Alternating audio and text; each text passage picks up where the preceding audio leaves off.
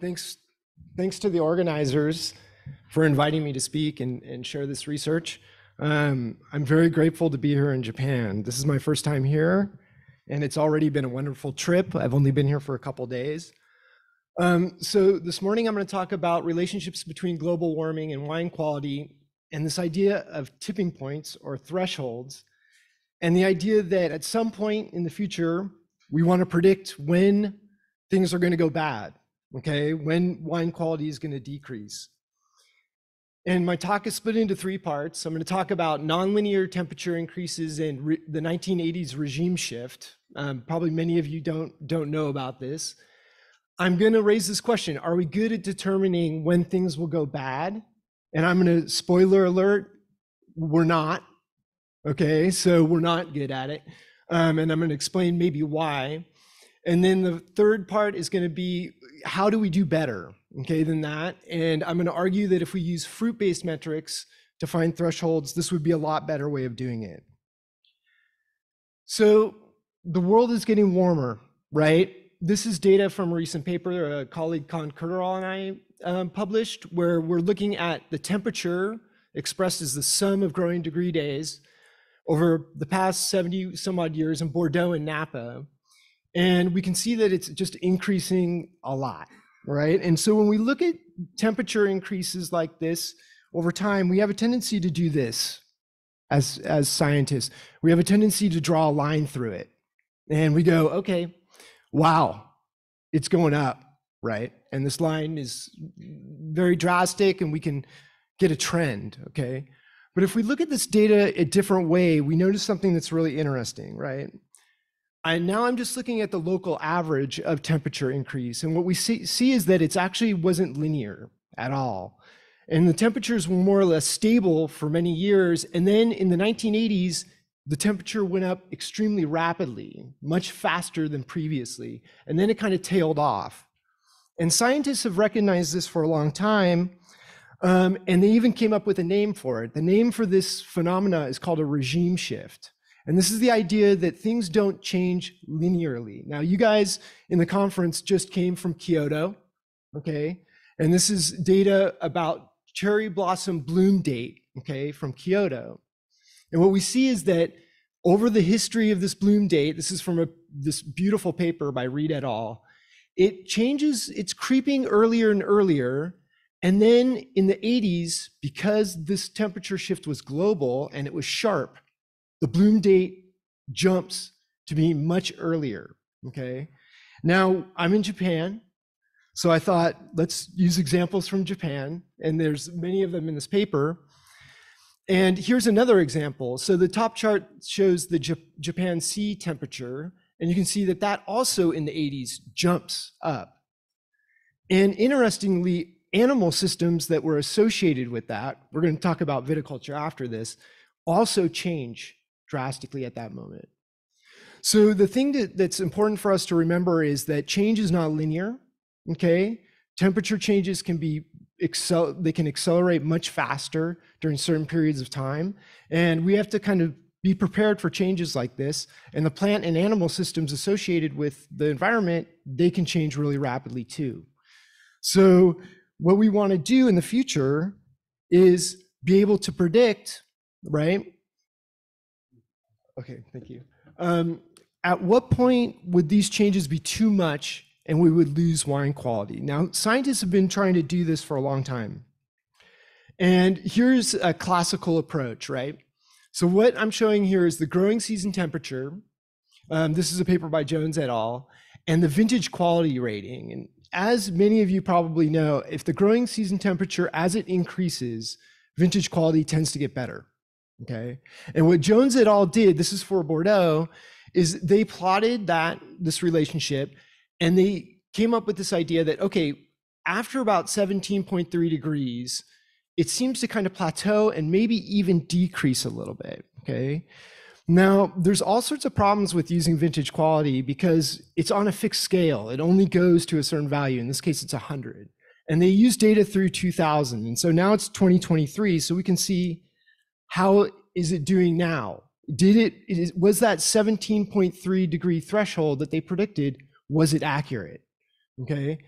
And if we look at the Bordeaux growing season temperature and how it's changed over time, we can see they use data through 2000. There was only a handful of vintages that were warmer than that. But look what happens after 2000. Almost every vintage in Bordeaux is substantially warmer than that at this point. So we can now ask the question today, what happened to vintage quality? Okay. And this is what my colleague Kaan Kurtural and I did. And when you do this, this is the exact same plot as I showed previously from the Jones work, average growing season temperature and vintage quality rating, you can see that it gets even consistently better. Okay. So you see the 17.3 degree line, and after that, vintage quality is consistently better. Okay. So that idea that 17.3 degrees was the optimum was really just completely incorrect. And so we have to be really careful about getting thresholds from vintage quality ratings and using math and, and fits to do this, because if I do this with this data, exactly what Jones did, what I do is I see a new peak now, right? And my new peak is like 18 and a half degrees. And now is that the new optimum for Bordeaux? So this, I don't think so, right? And the problem with using vintage quality ratings is I'm going to have to have decades of poor vintages before I know that I've reached the peak. So this is, you know, before I know that things have gone down. So vin using vintage quality ratings is really, even though many scientists have done this in the past, and even I did it, um, is not really the best way to, to go about this. So how could we do better? Okay, so I'm going to argue just with the last part of my talk that if we use fruit-based metrics, we may be able to find, um, you know, more accurate thresholds. But this is, I'm not going to give any answers today. This is just food for thought. So this is data that we published that's the relationship between two quality related metabolites. And um, Simone Castellarin and Laurent Torregrosa are going to speak after me, and they're going to talk a lot more in detail about metabolites. But we have sugar on the x-axis and anthocyanins. This data is a lot of data over seven vintages, many different sites in both Napa and Sonoma, all the same variety though. This is all Cabernet Sauvignon, okay? And when we look at the relationship between sugar and anthocyanins, we get a much clearer idea of a peak, okay, than we do with vintage quality ratings. We can see that uh, at about 250 grams per liter sugar, above that, we run some sort of risk of having degradation of anthocyanins. Now, we don't, we didn't determine why, okay? Why do, does that happen? We're speculating that's a temperature effect because uh, the temperatures of the, those ripening periods were just too hot and that then you're getting anthocyanin degradation. And because sugar accumulation is so tightly coupled with temperature. So as temperature increases, sugar concentration at harvest tends to increase in most seasons. So I'm going to leave you with one last example by a work of my colleague Kaan Kurtural, looking at a, a, another quality set of quality uh, metabolites, flavanols. But what Kaan did was pretty interesting. He found another molecule. It's this, it's this phenolic kaempferol on the left graph. And this is, I'm showing a plot of kaempferol in relation to global radiation or exposure, radiation exposure of the fruit. And what we see is kaempferol is a nice marker for how exposed the fruit is to sunlight. Okay, the more sunlight that the fruit is seeing, the more kaempferol is there. And then what Kaan did is he plotted the kaempferol against equality related compounds. This is just total flavanols. And what you see in this case is a really nice peak. We have a really clear um, threshold at which essentially the radiation environment of the fruit was too much. You know, light is a good thing. You get more flavanols, there's net synthesis. And then at some point, there's too much light. Presumably, the temperature of the fruit becomes too high, and we get degradation. Um, and so these are just two examples. A lot more work needs to be done of relating metabolites so we can see peaks related to environmental factors. It, we're probably going to do a better job at predicting when things are going to go bad. So in conclusion, I just, these are my three take home messages. The first is change is not linear. So we can't expect it to be in the future. Um, predicting tipping points is very difficult, okay? Probably because we lack the appropriate metrics. To date, we've been trying to use vintage quality ratings to do this, and I think that's a poor metric to use. Um, but also something I didn't mention is that eh, tipping points are intrinsically difficult to predict because we're working with two organic kind of systems, right? We have the viticultural system, the vine is adapting, but then we have us, and there's growers and producers, they're adapting as well. And so things are changing in real time.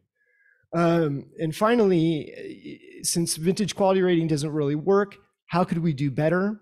And my argument is that if we use fruit-based metabolite metrics, instead, we're probably going to get more accurate predictions of when things are going to go bad in relation to environmental factors.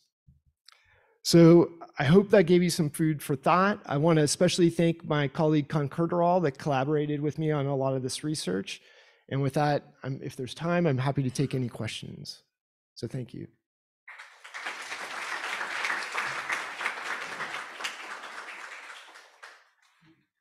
So good morning, everybody, and thank you very much, Pierre-Louis, and to all the organizers, uh, the Yamanashi University, for allowing me to present some of uh, our work.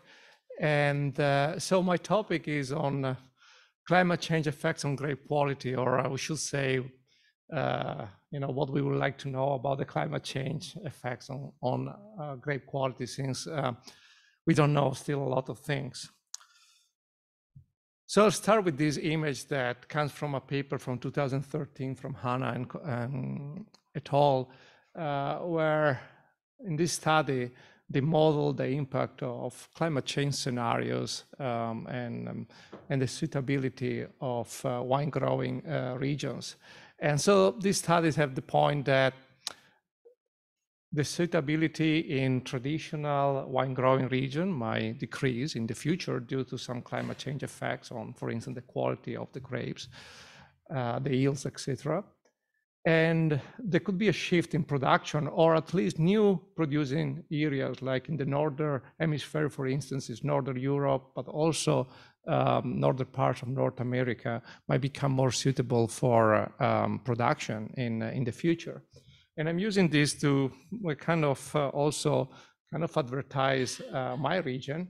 I, I, come from Vancouver, uh, British Columbia, and it's the second wine region of Canada for size, but well, cannot say the best for quality, but one of the best for quality for sure. And um, this is a region that in 1990 uh, have less than 50 wineries, and I would say a few vineyards was producing mostly hybrids.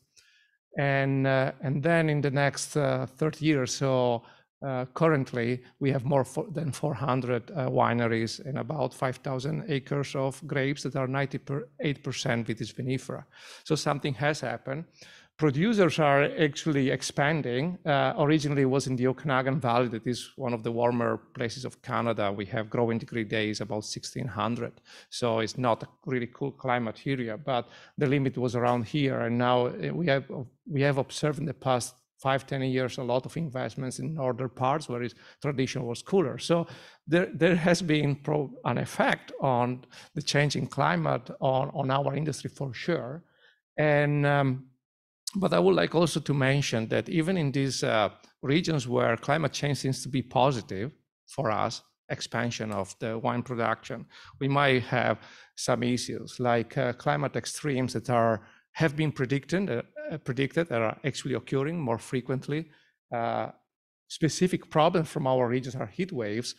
Uh, we had heat waves of 45 degrees Celsius at remember, I come from Canada, so we normally don't think about those temperatures, but we do have those temperatures. Uh, big issues with forest fires that we have almost every season, and they are close by our vineyards. And so we had wineries that had to throw away their full production because of smoke taint issues. So even when we we have climate that is favoring the expansion of the industry, we, we might also have these changes in climate that are impairing or challenging us uh, anyways. So, but today is my topic, my talk will be more focused on the quality of the grapes and how it's modified by envir the environment or the changing environment. So I'm using these um, figures from Kim Nicholas, uh, who uh, published this two figure, like what we think is happening or was happening in the traditional scenario in our premium wine regions around the world, where accumulation of sugars and uh, decrease in acidity during ripening was somehow synchronized with accumulation of flavor compounds. And so we had some uh, times uh, during the ripening where we were deciding to pick the grapes and we had kind of the optimal sugar, acid, and flavor uh, levels uh, for giving us our premium wine. The concern is and was that if we are going to a warmer climate like we are, um, we have an acceleration of sugar accumulation and acid decrease. And so there is a, well, that is not synchronized with the accumulation of flavor. So if we want to pick the fruit at the same sugar levels as acidity to have similar characteristics, then we might end up with different flavors. Uh, then, you know, we assumed it will be bad. Well, Greg said maybe it could even be better, uh, depending on the condition where we are and the situation where we are. But the challenge is like there is an uncoupling of ripening events, like we discussed just now, sugars and anthocyanins, etc., and some changes in the normal quality we like to understand. Okay, now I have to accelerate. I'm already late. So predicting changes in grape and wine quality is complicated. And this is a um, um, review a paper published by Markus Rienth, myself, and other co colleagues uh, a couple of years ago, where we discuss about the impact of the environment, environmental factors in a changing climate scenario on the accumulation of metabolites that are important for fruit quality. And my point of these slides is that unfortunately, there are not just a couple of metabolites we have to study to understand fruit quality, not just sugars, acids, or anthocyanins, like I will show later, but there are also a lot of uh, flavor compounds. And I think on that side, arom aromas and flavor, we, has, we have less information available. Another thing is that uh, these metabolites that are quite diverse, there are hundreds or several doses that are important for quality might respond to the environmental factors that are changing, like temperature, increasing CO2, radiation, and, and, and water availability differently. So we might have different effects depending on the metabolite we are considering. And also, something that came out from our analysis was, well, we have studied quite a bit the impact of specific uh, factors, increasing temperature, um, increase in drought events, etc. But rarely we study the interaction of, of between these uh, or among these factors. And the interaction between factors might actually result in something unexpected for us. That is also quite complicated to analyze. But I think as scientists, we should go toward this uh, in the future. So I'm going to present a couple of our studies that are showing how it can, it's complicated to predict what is going to happen. Um, one study is the study about temperature effects on anthocyanins. Uh, it's, um, it's, a study did with um, master student Yifeng Yan, but it's similar than other studies that the community have done uh, in, different places. Most of these studies are, are, are done in control environment Unfortunately, I will say, because there is always a difference between controlled environment and open fields, but it's very difficult to conduct these studies in open fields, particularly when it comes to controlled temperature and radiation.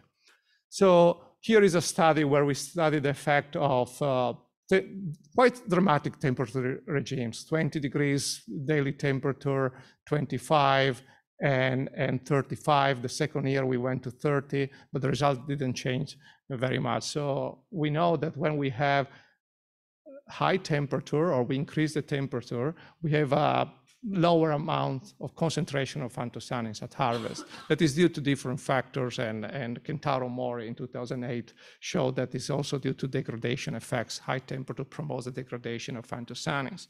But what, excuse me, what I wanted to show is this that similar to what Greg was uh, introducing, like the uncoupling effect that you see if you want to harvest your fruit at 20, 22 um, Brix, for instance. These, these are these were Merlot grapes.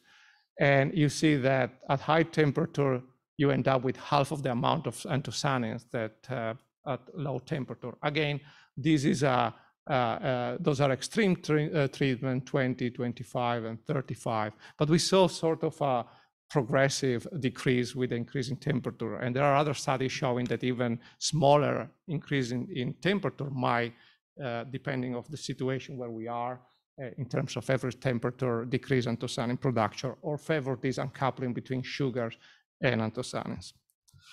So this is another study that goes toward understanding the effect of another, um, I would say, climate change uh, uh, expectation we have, that is the increase in drought events in several wine regions.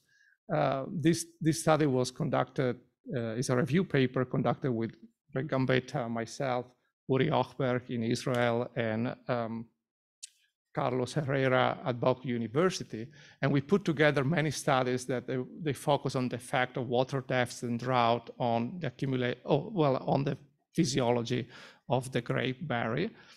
And, uh, and the observation is that, yes, when we have drought events or water deficit, sure, we decrease yield and berry size. Generally, we don't have uh, large effects on the sugars, not always significant, and also on titratable that decreases, but not always in a significant manner. However, we do have consistent increases in anthocyanins and phenolics.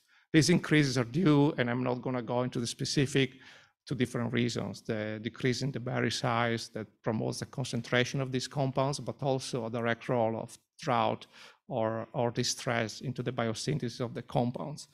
But basically the situation is opposite than before. In this case, we have uh, uh, extreme, climatic extremes that uh, is still favoring the uncoupling between sugars and anthocyanins, but in this case is in a positive way if we assume that more pigments is better for our quality. So in this case, we have that at 20 or 23 Brix, we have less anthocyanins if we have a well-water plant than if we have um, plants that have been exposed to drought. As I said before, uh, anthocyanin sugars are only part of a story that uh, uh, we should uh, we should study or, or learn about.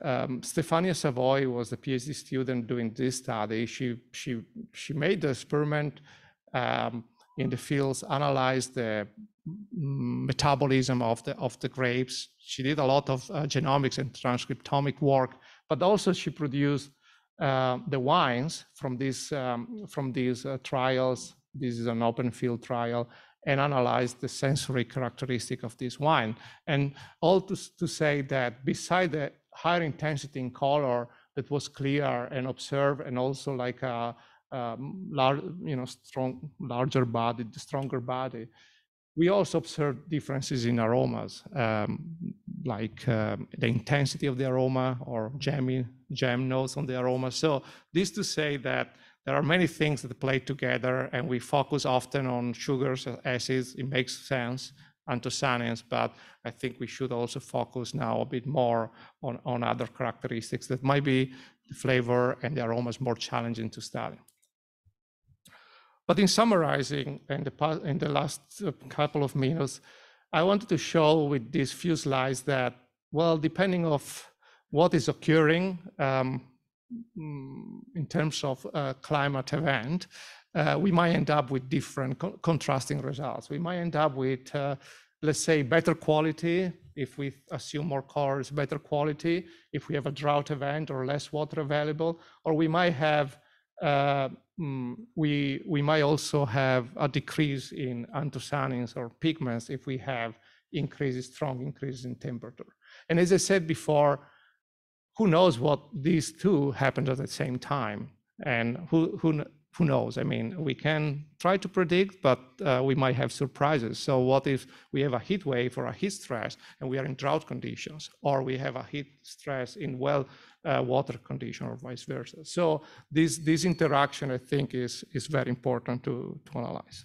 And this goes into my conclusion that is uh, what I think uh, could be my conclusion and future direction is regulation of ripening um, is very important. We, we learn a lot about many metabolites. We still don't know much about some metabolites that might be important for quality. So I think we should uh, um, keep studying them.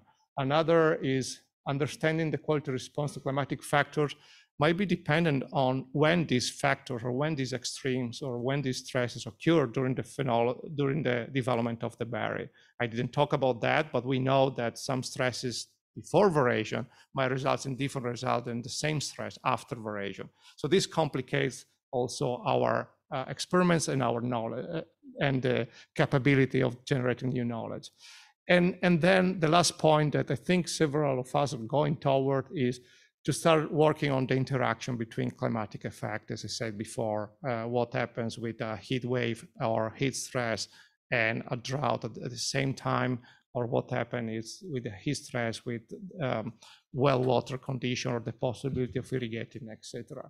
I think the problem with these experiments is that they require often controlled environments and a lot of plans, and they are quite challenging, but I think it's, uh, they are still important to perform in control and also open fields, but both present their challenges. So I would like to thank several students and, and colleagues that work with me in some of the work that I've presented today, but particularly like to thank you for your attention. Thanks.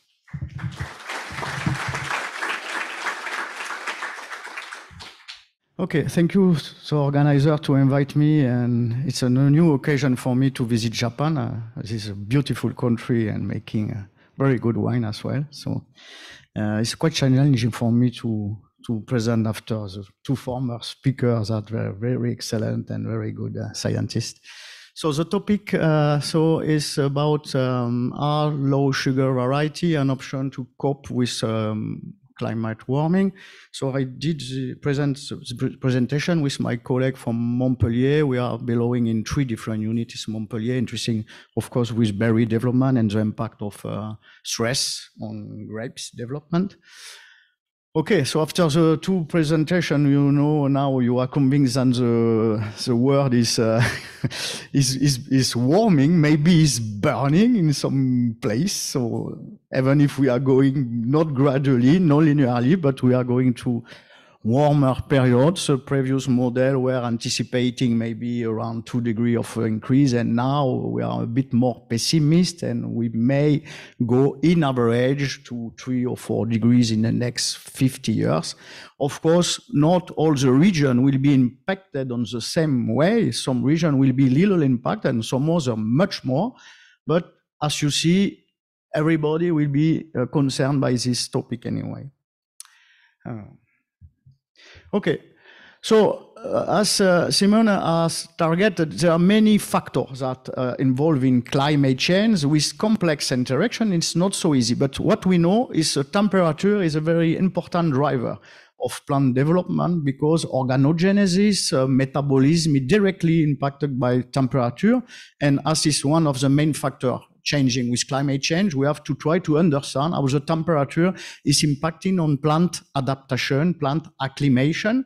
As you see on the left, temperature is impacting on many, many processes, in fact. Uh, uh, photosynthesis, respiration, transpiration, hydraulics, uh, nutrient uh, supply, uh, plant growth regulator balance.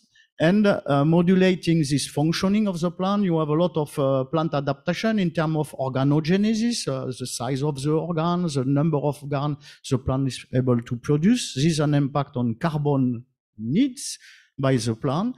And uh, also temperature can modify carbon gain because uh, the development of the plant is carbon, water, and with the carbon and water, you develop different metabolites. But first you have to import water and carbon is very important. And at the end of the day, also temperature can regulate directly the primary metabolism and also the secondary metabolism. So I don't want to go in detail on that because it was extensively described by my previous uh, presenter, and we'll give you a few uh, information about trying to understand how it works in terms of organogenesis and primary metabolism. Of course, if you are modulating plant physiology, you will have new phenotypes. The plant will be changed the date of ripening. The plant will be uh, modify the yield, and the plant uh, will also modify fruit composition. So, and this is a complex story, but we have to to to to better understand that. So uh, so I will provide you a few uh, experiments we have done and just to try to understand how the temperature is modulating. Uh, sorry, Simone, we were working only in um, uh, control environment, but uh, we have to start with that.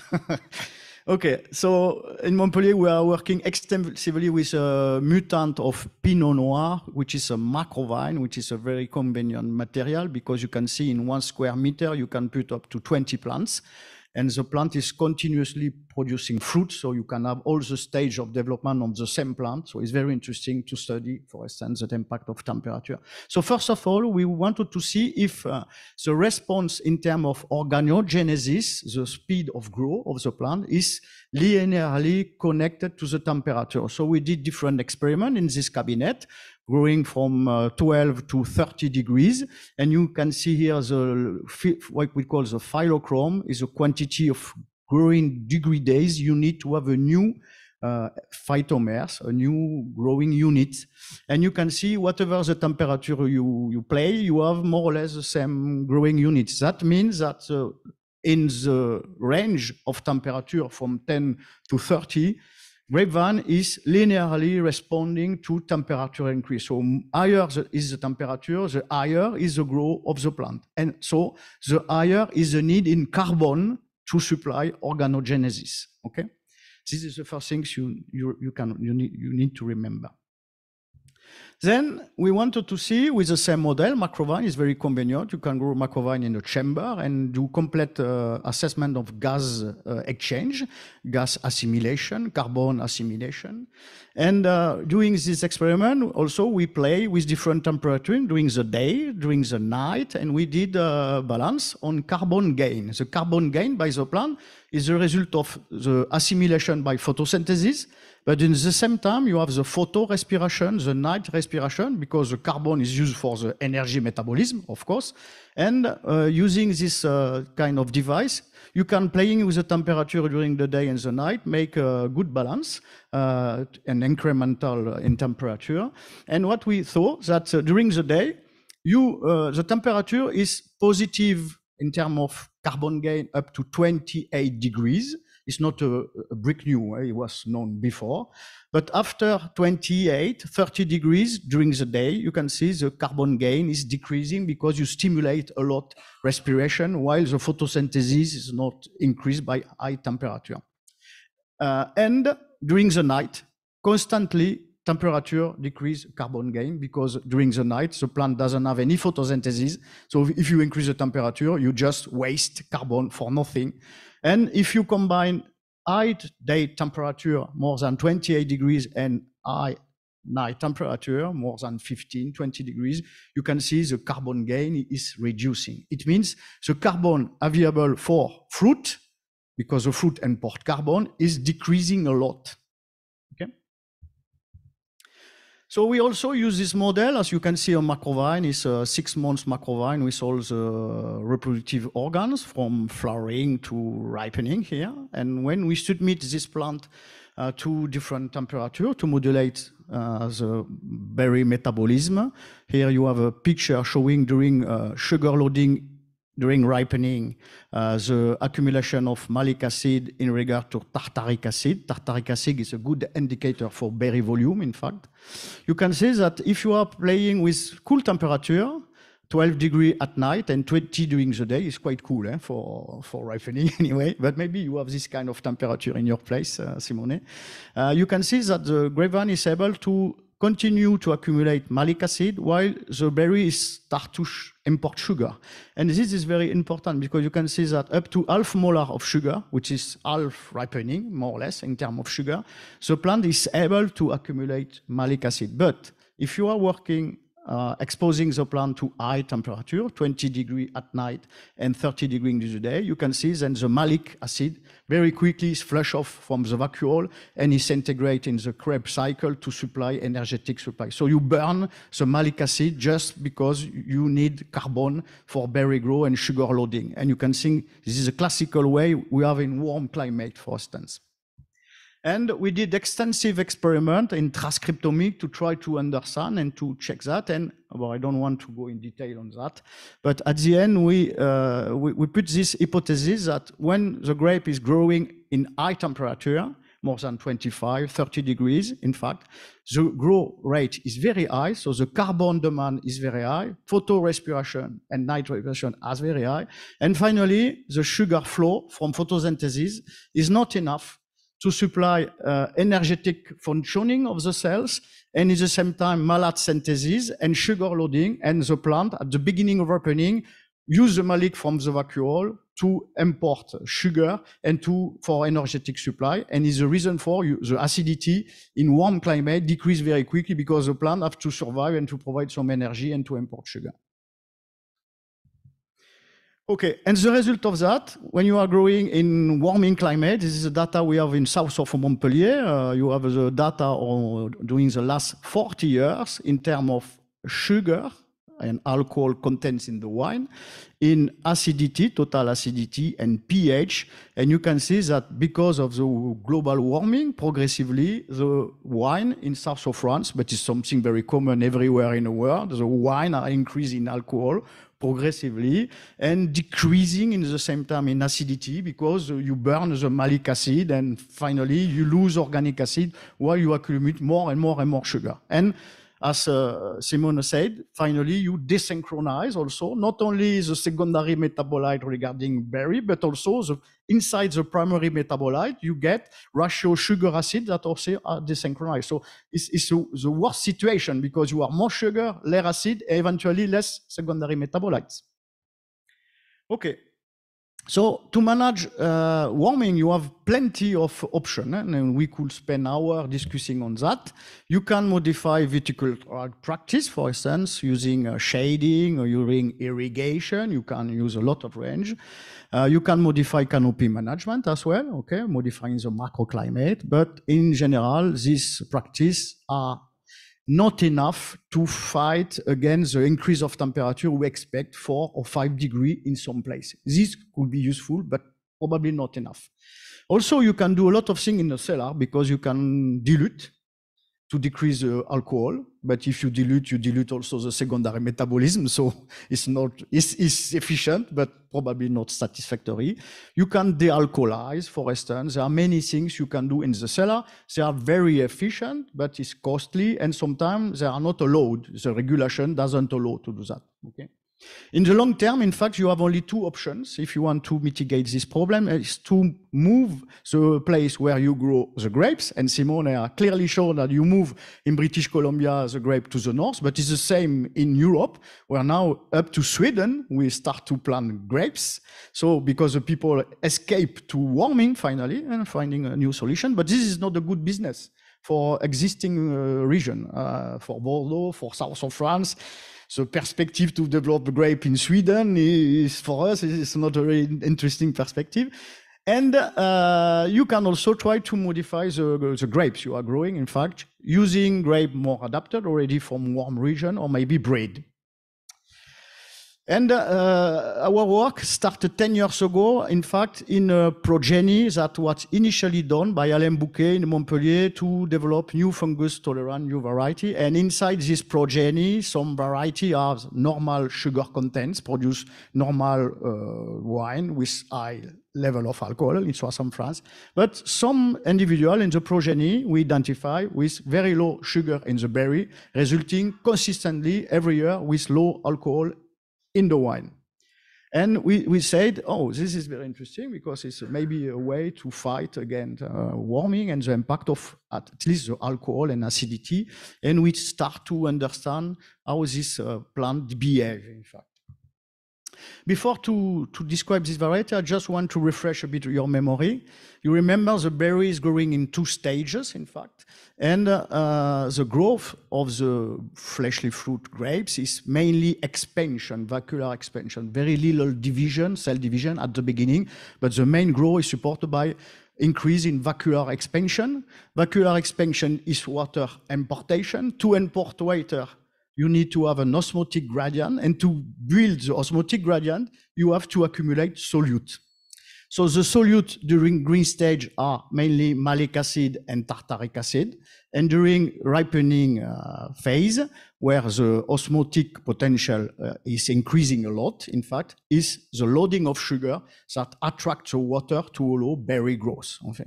So in fact, trying to find a new variety with less solute is a question because if you reduce the sugar, you should probably check first if you don't reduce berry growth because you reduce the solute, you reduce the osmotic potential and the gradient, osmotic gradient to import water. Especially if you are in combining with water deficit, it could be very critical to check that.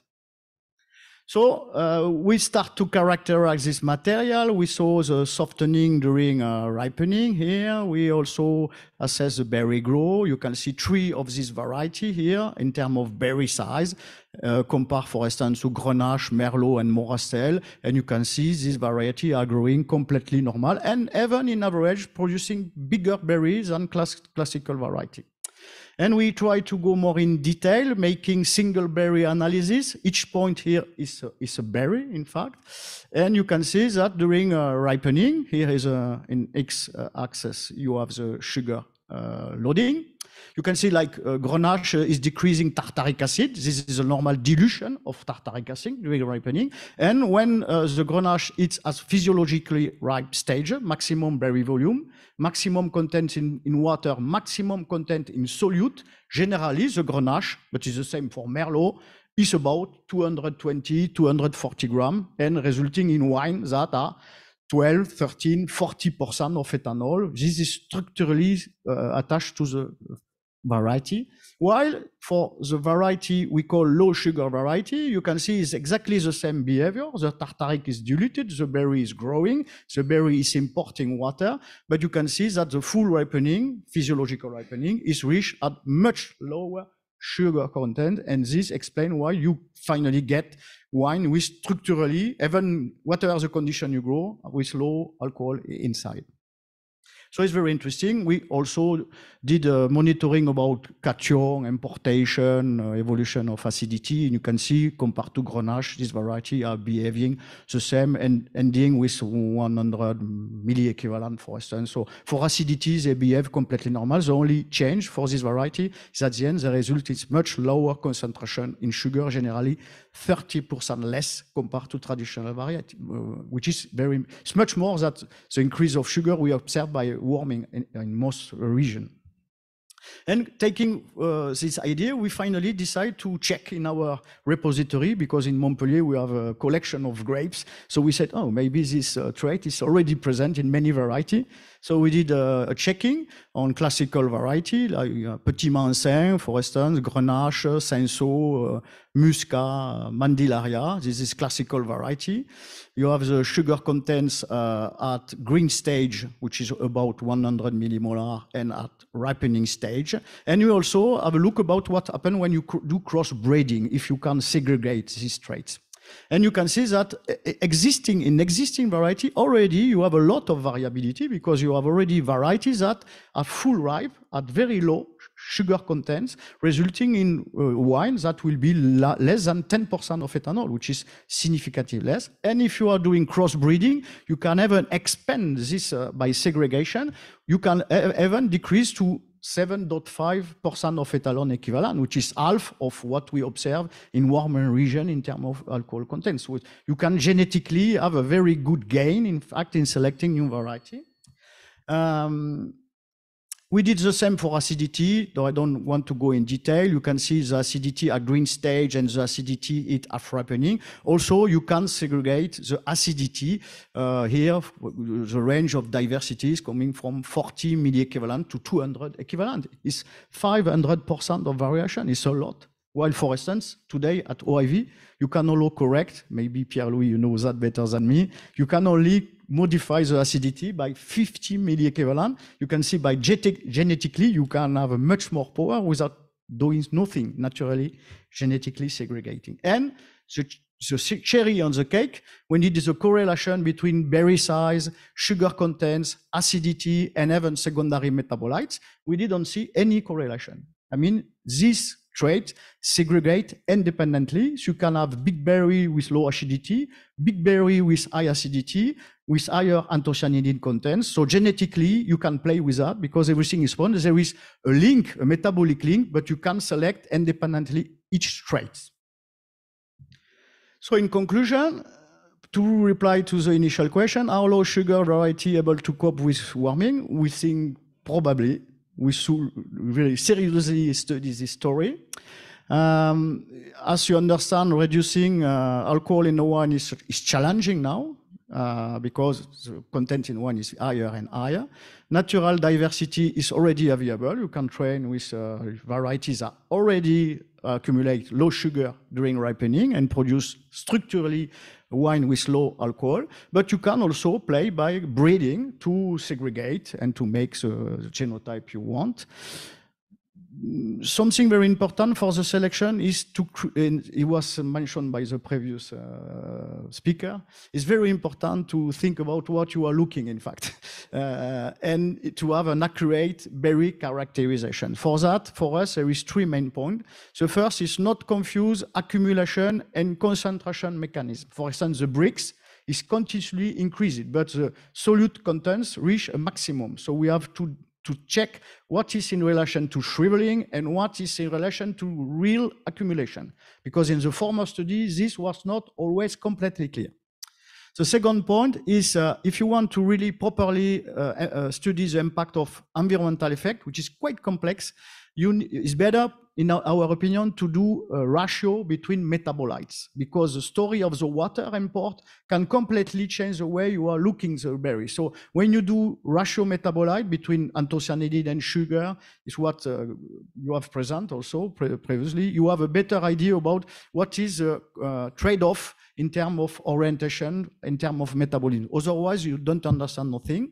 And very importantly, uh, if you want to compare region, for instance, or genotype, you have to compare during ripening at a very precise physiological stage. And the only precise physiological stage we, we know is the, when the phloem stop to import what and solute, which is called the physiological ripe stage. It's not the technical ripe stage, but it's the only stage we can objectify in, in, order to make comparison. So if you make that and analyzing ratio between compounds uh, and try to uh, do as analysis in terms of accumulation and concentration, then you can really interpret uh, the difference between variety, etc., etc.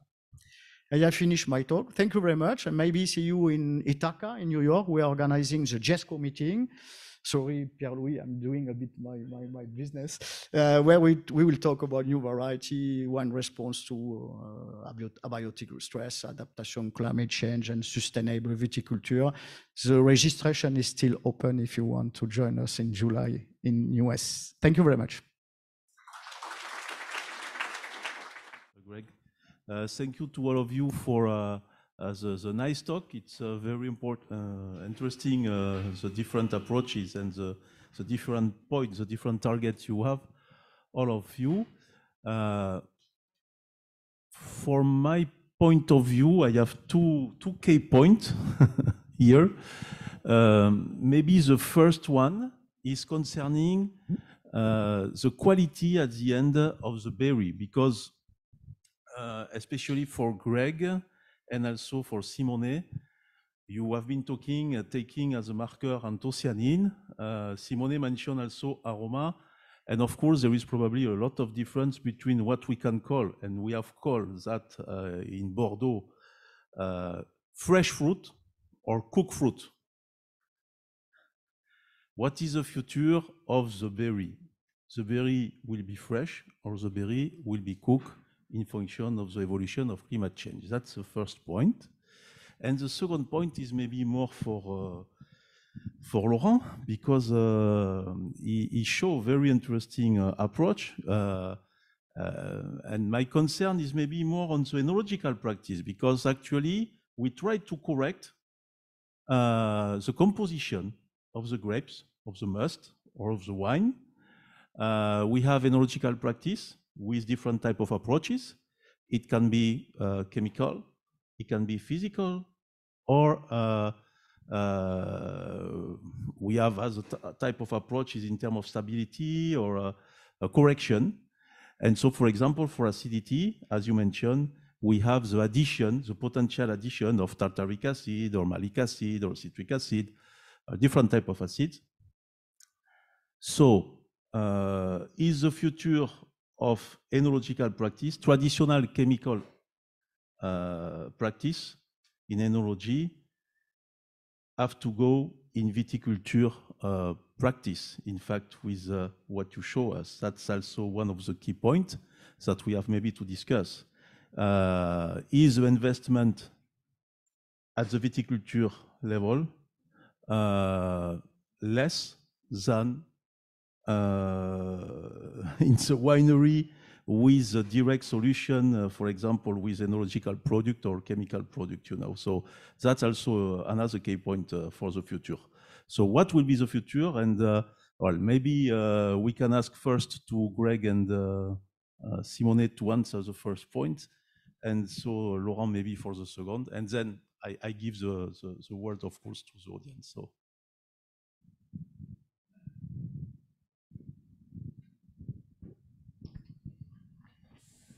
I- I think that my opinion, Pierre Louis, is that the the future we're not good at predicting what it's going to be, and whether or not some the the wine quality um, thresholds we don't know what they are, and that's probably because growers are adapting. And so your question about like, you know, temperatures go up, is fruit going to be more cooked, you know, and have a different flavor profile? I I'm not convinced it will, right? It it depends on what the growers choose to do to adapt to that change.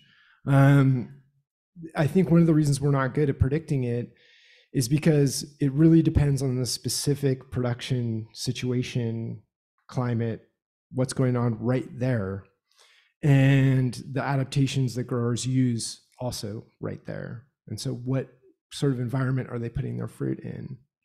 And I think knowing what the thresholds are that you would arrive at having a certain quality, whether it be cooked or fresh or whatever you want to say, is the information that's really critical because then it gives the grower uh, the ability to choose what they want to do.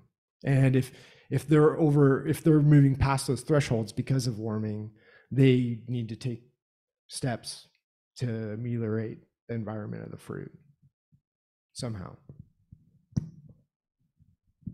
Okay, I will add only, I mean, I agree with what uh, Greg has said. I will add that from, I will say on our side, um, kind of the side of viticulturists or, or grapevine physiology, what we are start, we're trying to do is, uh, well, follow those metabolites that might be related to what you are um, mentioning, like cook or more fruity or more green or fresh and understand how the factors and the combination of factors are playing in controlling experiments that I believe are very important because they allow us to control kind of precisely on, on the production of these compounds.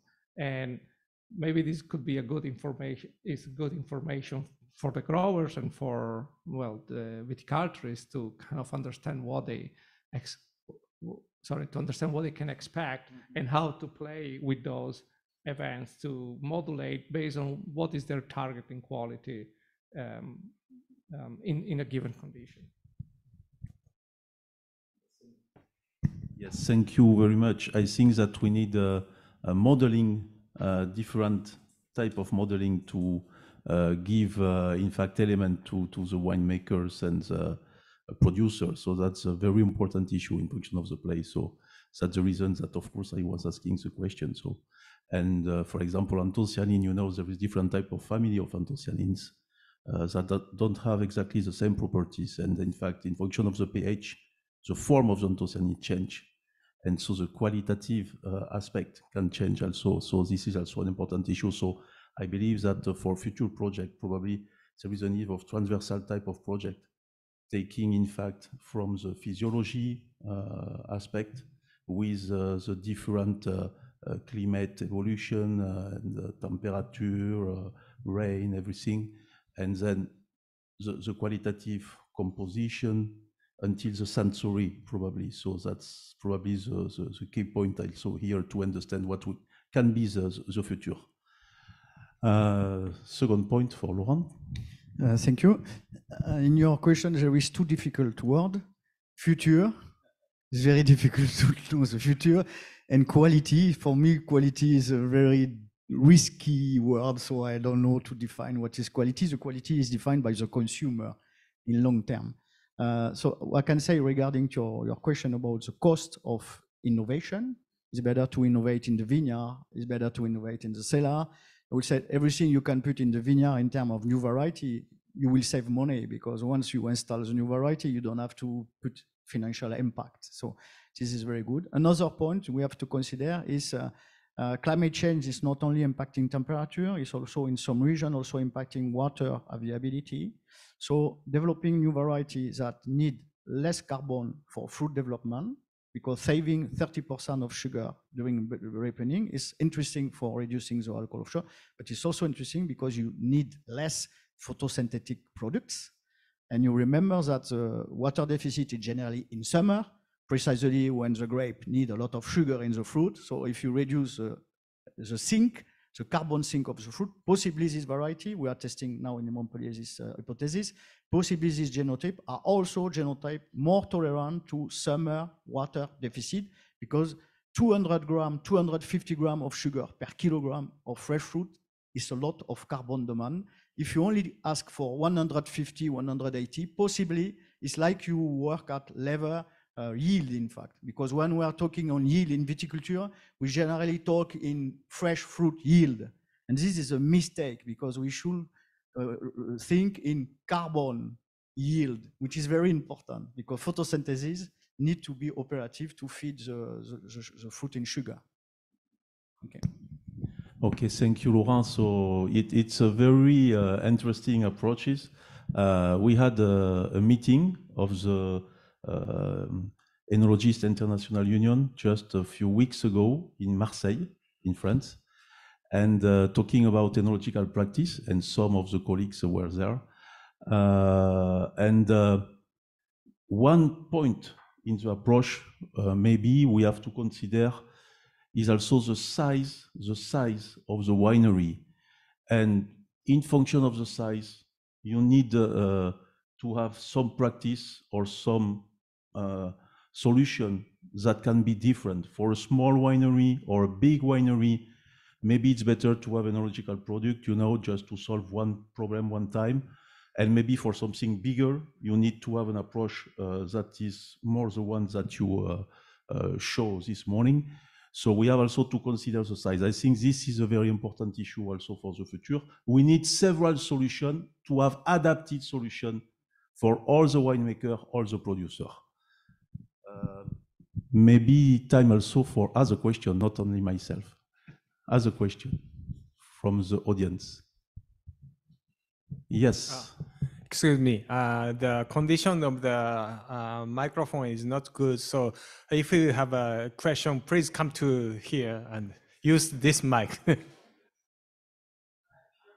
Otherwise, uh, yes, yes. Uh, in this case, uh, please repeat the uh, question for the au- audience.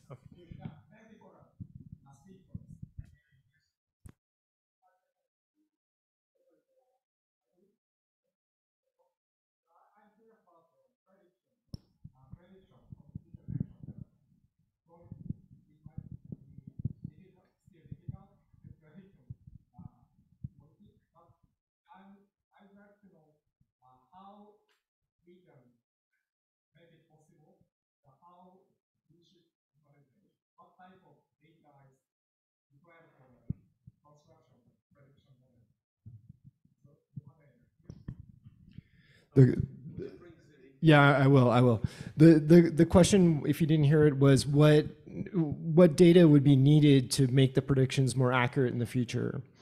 Um, and I think the type of data that Laurent and Simone are showing is the type of data where we're understanding better how environment is affecting specific quality related metabolites and but but as they both pointed out rightly we need a lot we we tend to just dwell on like sugar and acid and anthocyanins and phenolics so a very narrow range.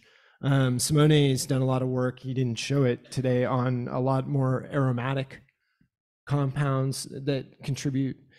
Um, so we need that sort of data and we need better we need models and we do do a lot of modeling work. It was never discussed today, but we do do a lot of modeling work and have come a long way actually to have mechanistic models that actually function quite well in the field to do things like predict just with just environmental factors, predict things like sugar concentration, berry growth, um, and water status and things of this nature. Um, that allows us to understand how the vine's going to work in the future. Okay, another one?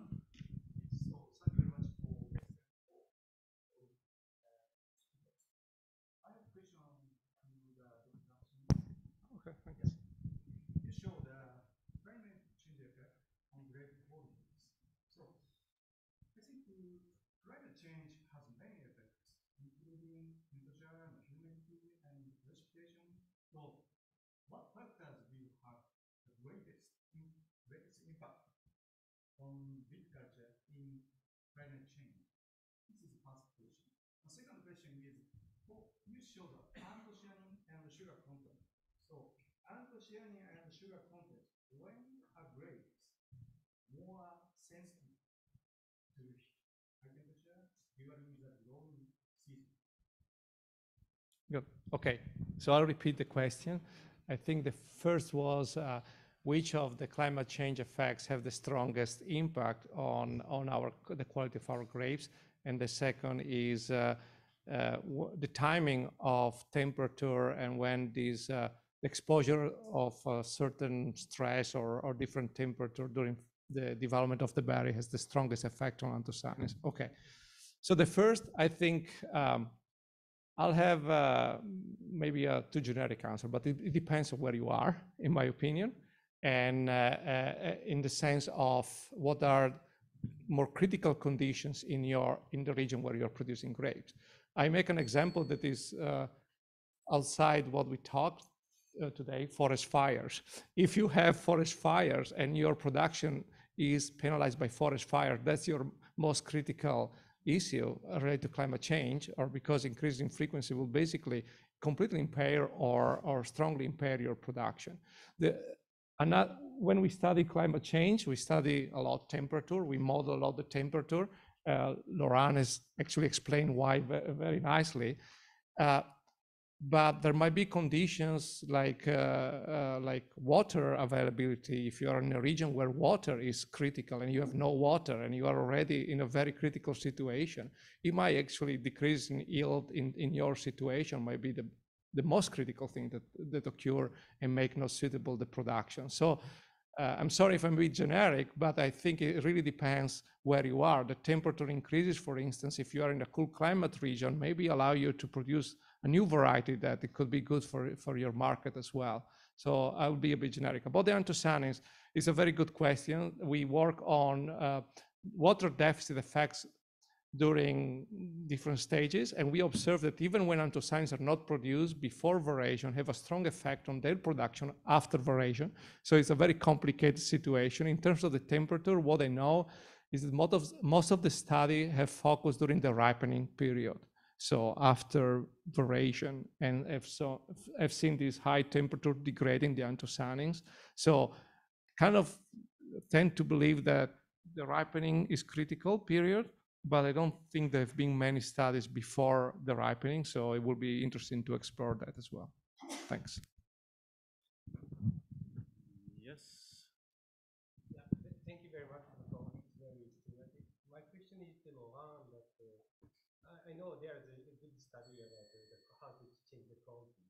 And we know that the uh, hope is the global climate and global warming.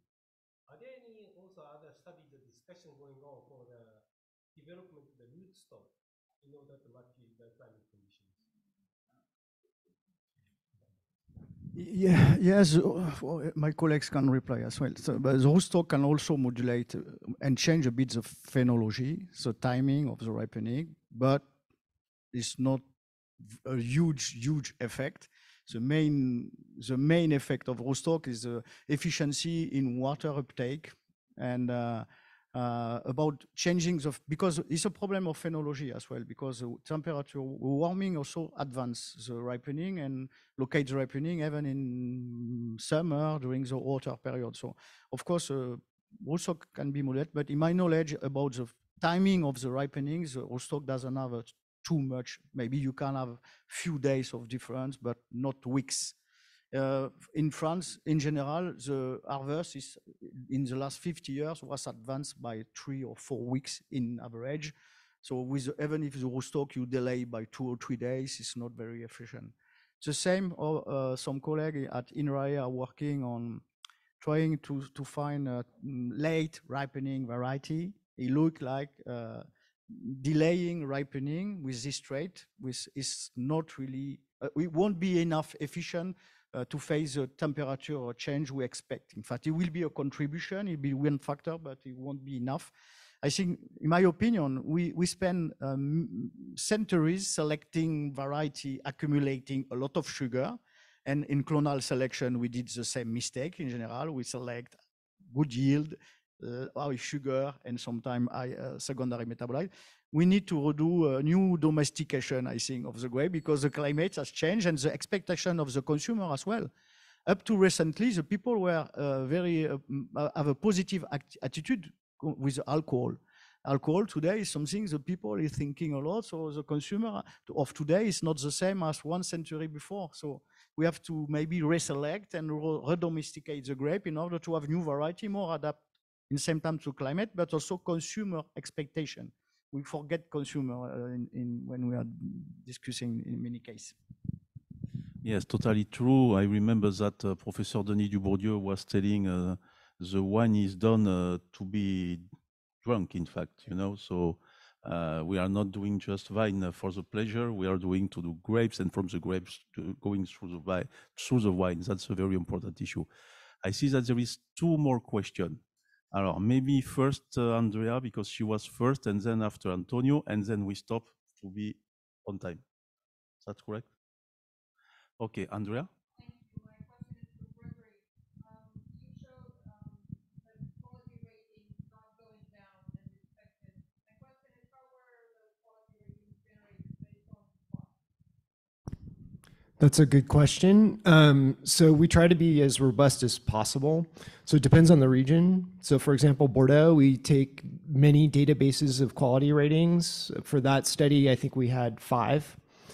And then we find the average quality um, rating from all of those different um, databases. And they're commercial databases or negotiant ratings. We use various databases. But I want to be clear that almost always those are always correlated with one another. So, so getting using multiple databases, it, it makes you feel better, but it doesn't necessarily give you a lot more um, power, I would say. For Napa, it is even more robust. What we did for Napa is we based it on individual wine ratings, and we had a database of over 10,000 wines, um, and then had those for each vintage, and then had average vintage ratings. So it depends on the region what sort of data we have access to.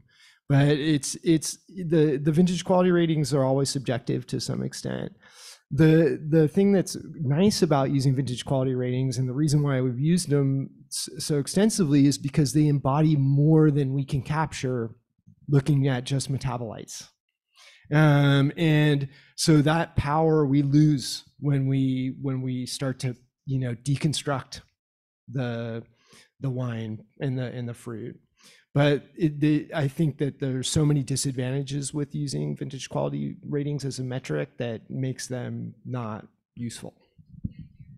Okay, Antonio, the last question. And then I think there is a coffee break. That's correct? Yes.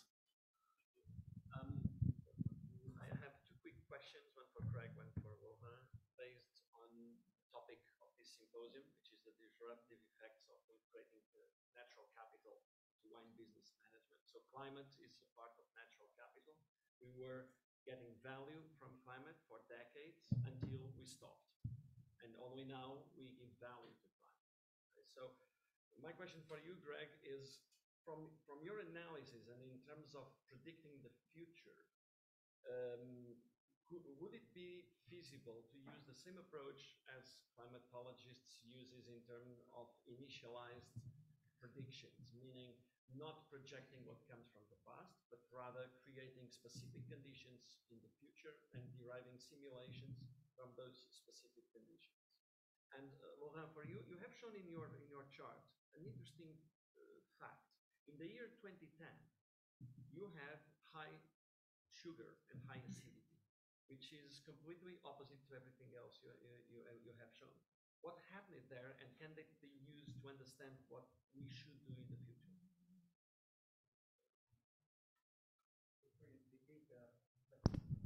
So um, great question, Antonio. Um, and yeah, we're actually doing exactly that right now. We just started a project doing this using, you probably know the term, decadal climate predicting. So um, maybe people in the audience don't don't know this term or aren't familiar with it, but decadal climate predictions differ from classical climate predictions in which they get primed by real climate data and they should be more accurate over the shorter terms. Um, and so we're doing this just right now. I can tell you where we're at is we're we're doing it just uh, validating if the deca- decadal climate predictions are working with phenological models by using them in the past in sites across Europe in which we already have the phenological data. So we can essentially run decadal climate predictions in, in the past with data that we already have and see if we get agreement. The project started literally uh, four months ago. So I don't have an answer for you. Okay, sorry, I didn't understand, fully understand your question. Could you reformulate? high values of sugar and high values of the seed, which uh, seems a bit at odds with everything else in, in, in the chart, where when you have high sugar, you have low uh, seed. My question is that what happened in that year, can it be used to understand how we should manage into the future to avoid having too much decrease in acidity and too much carbon loss in terms of balance in the plant? Yes, probably. Like, I said before, um, um, acidity and sugar is a primary metabolism. Everything is linked, in fact, but uh, everything can be managed uh, independently.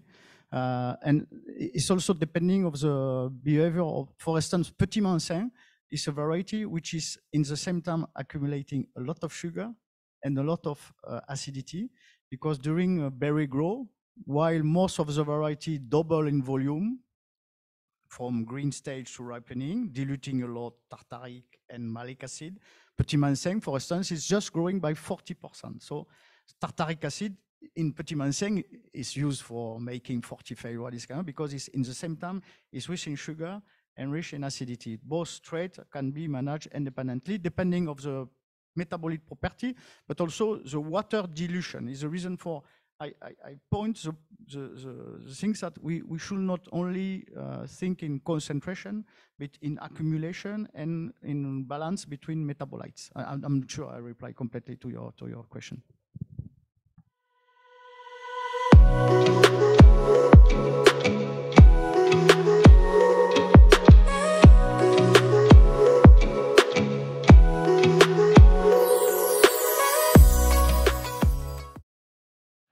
Um, I've, I should first, um, I'm very proud of to be here because we just started the wine research in five or six years ago, and uh, it's a very good, uh, big chance for me to present our uh, current research.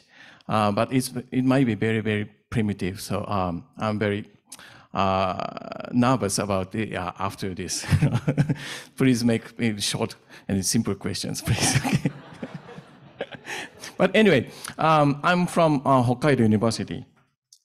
And um, uh, Hokkaido University is located in the um, Hokkaido Island. There's a big, big island in the northernmost of Japan. And uh, here is Kofu, and this is Hokkaido. And my uh, university is located here in Sapporo.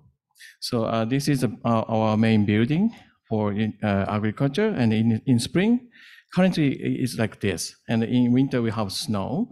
And this university was founded in 1876 as a Sapporo Agricultural College. So nearly 150 years of uh, history we have.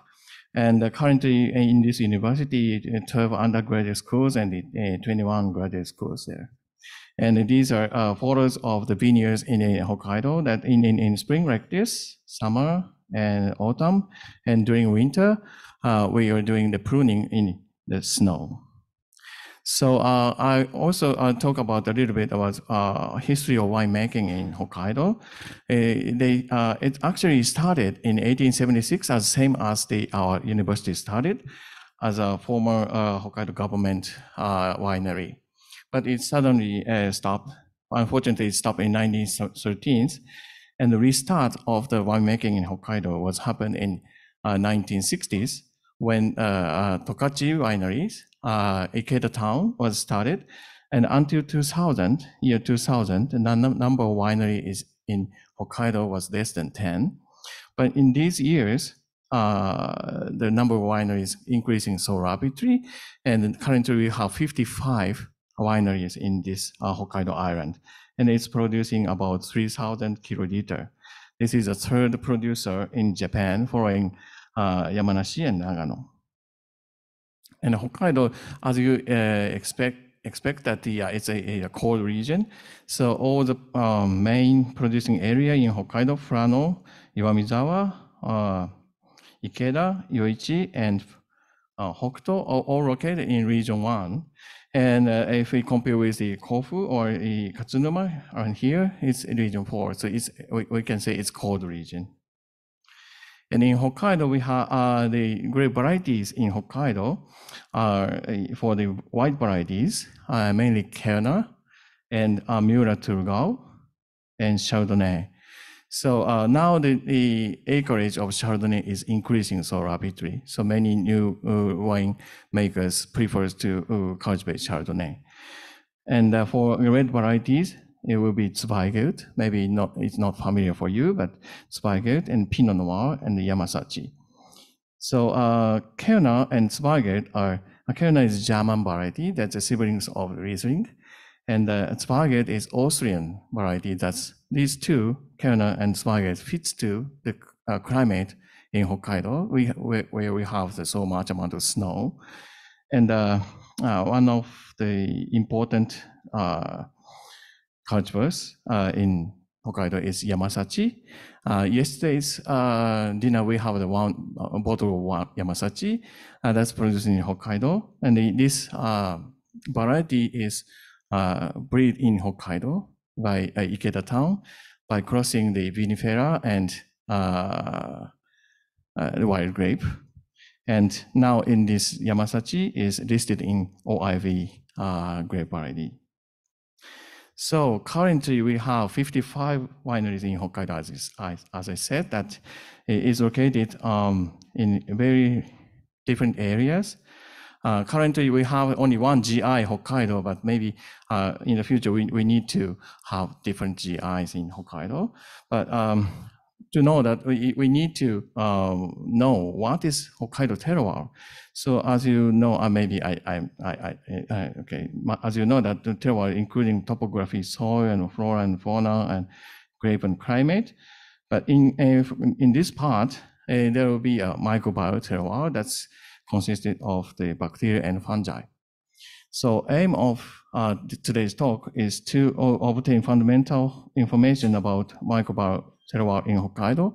And um, uh, we are doing the uh, also uh, both of bacteria and fungi, but today I will concentrate on the results of bacteria. So uh, uh, how to sample this uh, in the Hokkaido? We, we uh, chose four places. This one is Niseko. This is only for soil. And Yoichi and Takasu and Furano. These three places are soil, grape leaf and berries, and wine, wine must. Uh, some, we sampled. So um, in Yoichi, it's Pinot Noir, and also Takasu is Pin- Pinot Noir, and the, uh, in Furano, that was Zweigelt. Okay, so I, I, I want to add say, some uh, information about the winemaking in each places. So in, in Furano, uh, they use one- 100% Zweigelt, it's red wine, and um, in Takasu, it's mixed varieties. So uh, we uh, we sampled this, uh, the soy and grape or Pinot Noir there, but it's uh, as a, to make make wine, it's mixed uh, seven varieties to make it white wine. And in Yoichi, it's Pinot Noir 100% to make red wine. And all three wine wine making um, in each winery was done without addition of starters. And the uh, temperature control and the disseminating and crushing condition may vary between these three wineries. So um, basic uh, experimental methods is like this. So we collected soil and leaves and berries and fermenting must. And all samples will be uh, used for DNA extraction.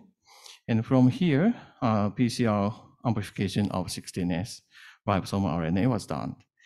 But for leaves and berries, um, we chose uh, PNA clamp method to avoid the amplification of 16S ribosomal RNA from grape, uh, grape uh, organelles. So, and then they were they were used for NGS. And at the same time, that the fermenting mass was uh, analyzed by simply by using FTIR and OenoFoss, and also we checked the bacterial count. Today, I, I'm not talking about the bacterial count, but I, I, we, we're also checking the bacterial count.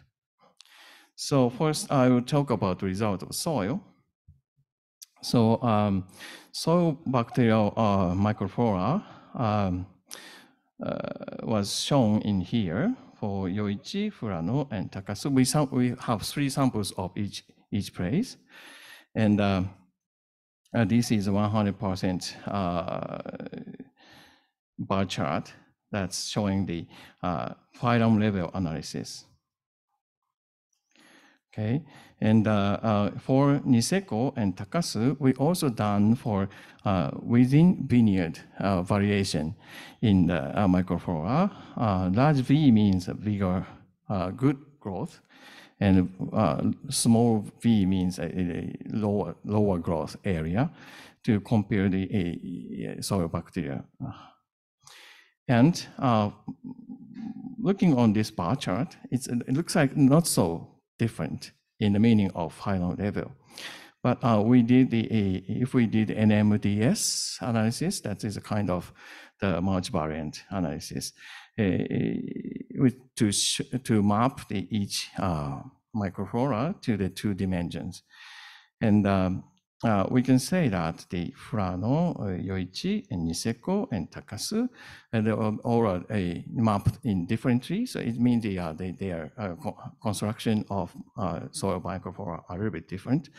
And uh, even in this uh, different condition, I mean, good growth, bad growth, uh, they will be mapped in nearly in, in as a Niseko sample or Takasu sample.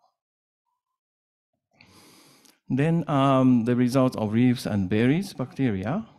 Um, I'm showing here similarly as a bar chart. That's uh, berries and leaves from Furano and Takasu and Yoichi. Uh, in Furano, it's uh, dominated by Firmicutes. Actually, these Firmicutes are mainly Bacillus. And uh, other uh, Takasu and Yoichi, uh, its domination was Proteobacteria. So um, it's quite different between the Furano and other places.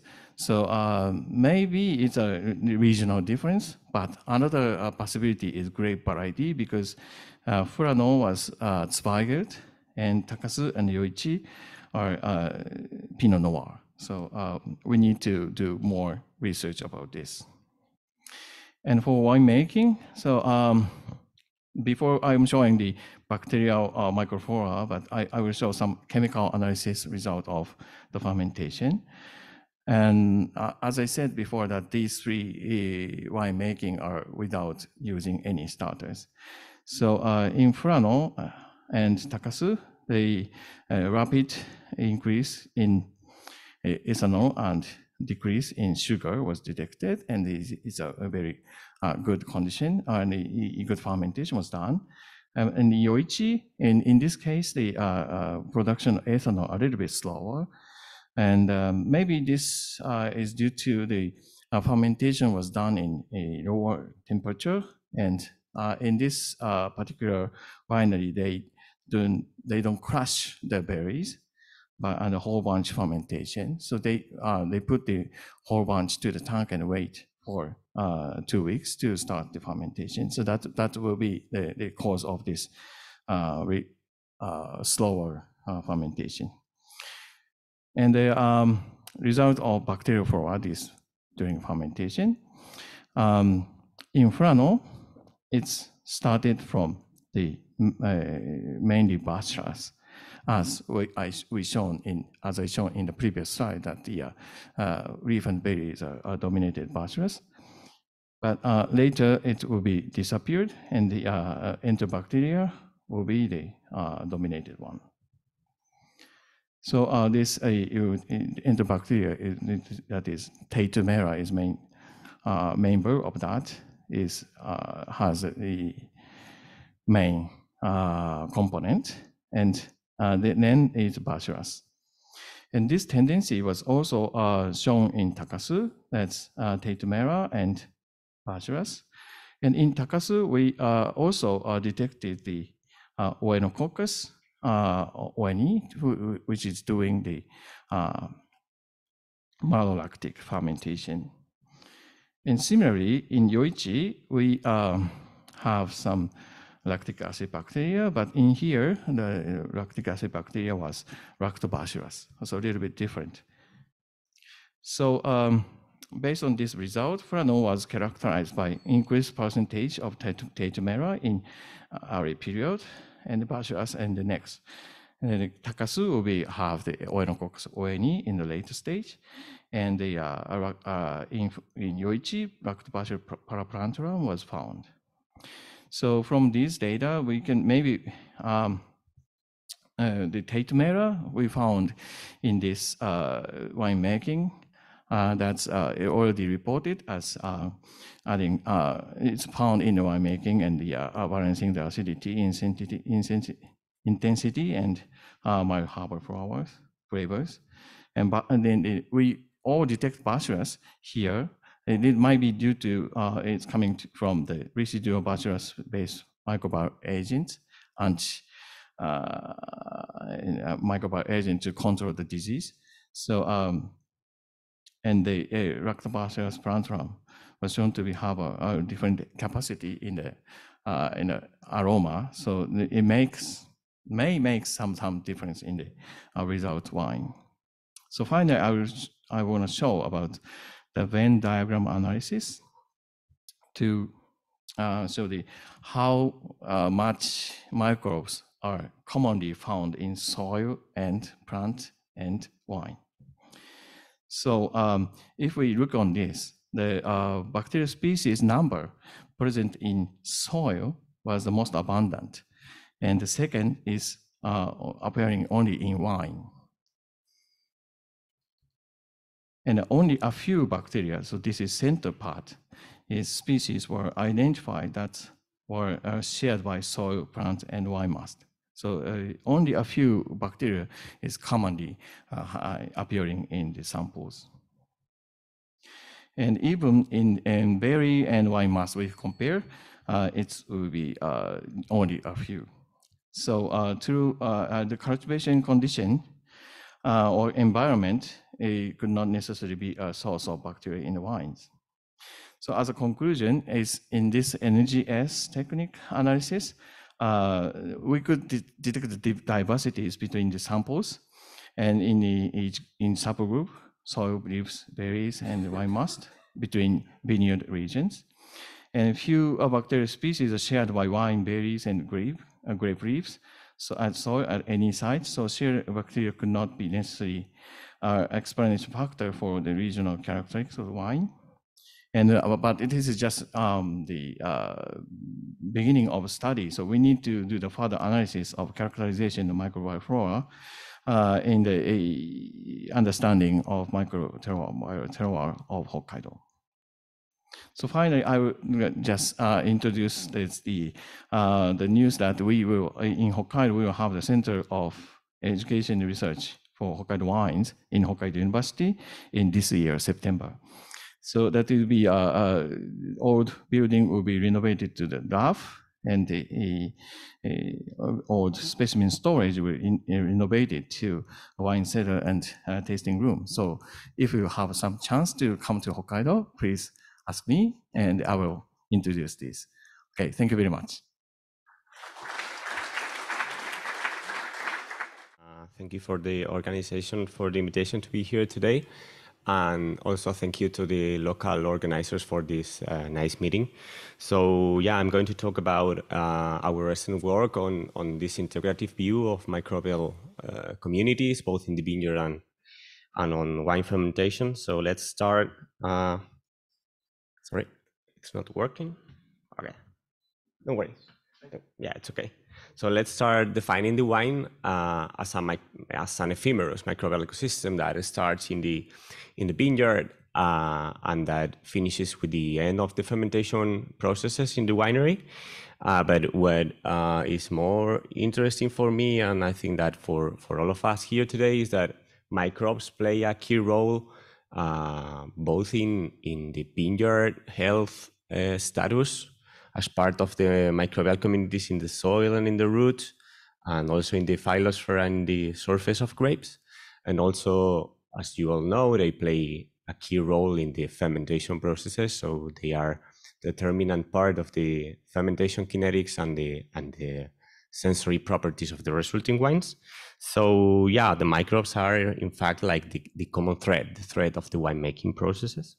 So just to have a look on who are there, who are the microbes that um, are important for vitiviniculture, we should uh, divide like those microbes that are in the vineyard, like those that are below ground.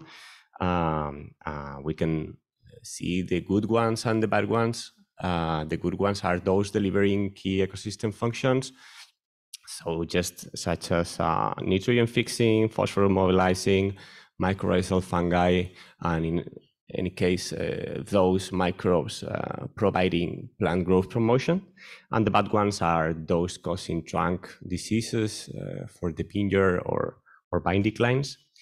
And in the uh, upper part, upper habitats of the vineyard, we also have the bad ones and the good ones. The bad ones are those also causing uh, vine declines or vine diseases or some grape rot.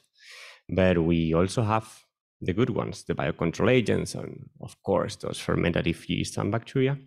And just to have some, some numbers, here you can find the number of microbial species uh, that are already described causing uh, vine diseases or declines.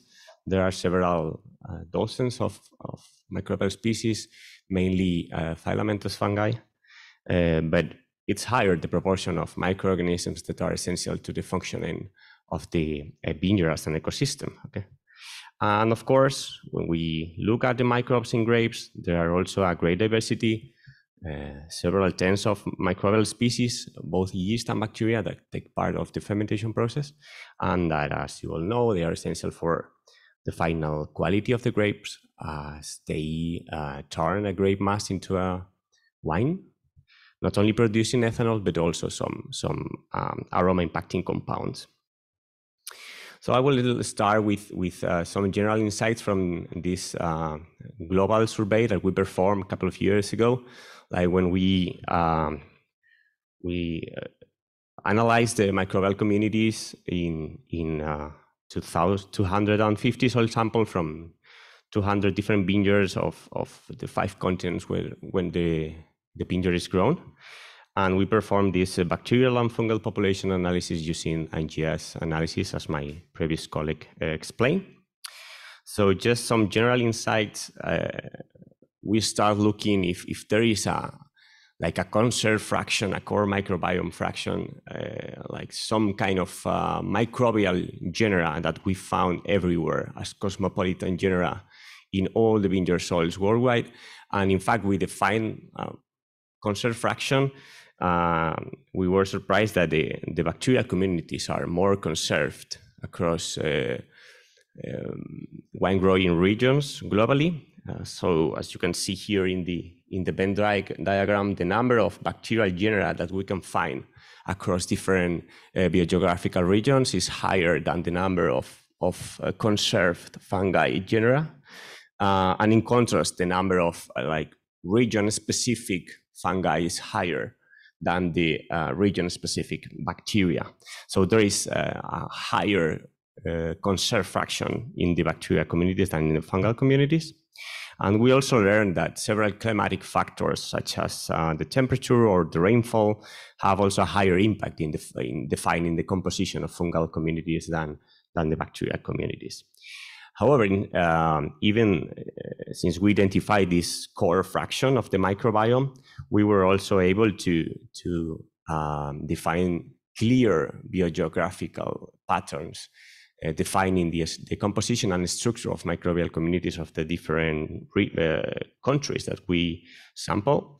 Uh, in fact, we were able to, using this compositional data, to, to feed a, a, predictive model able to predict the geographical origin of any new sample just attending to the composition of the microbial communities of the soil with, with uh, these high accuracies of the, of the model.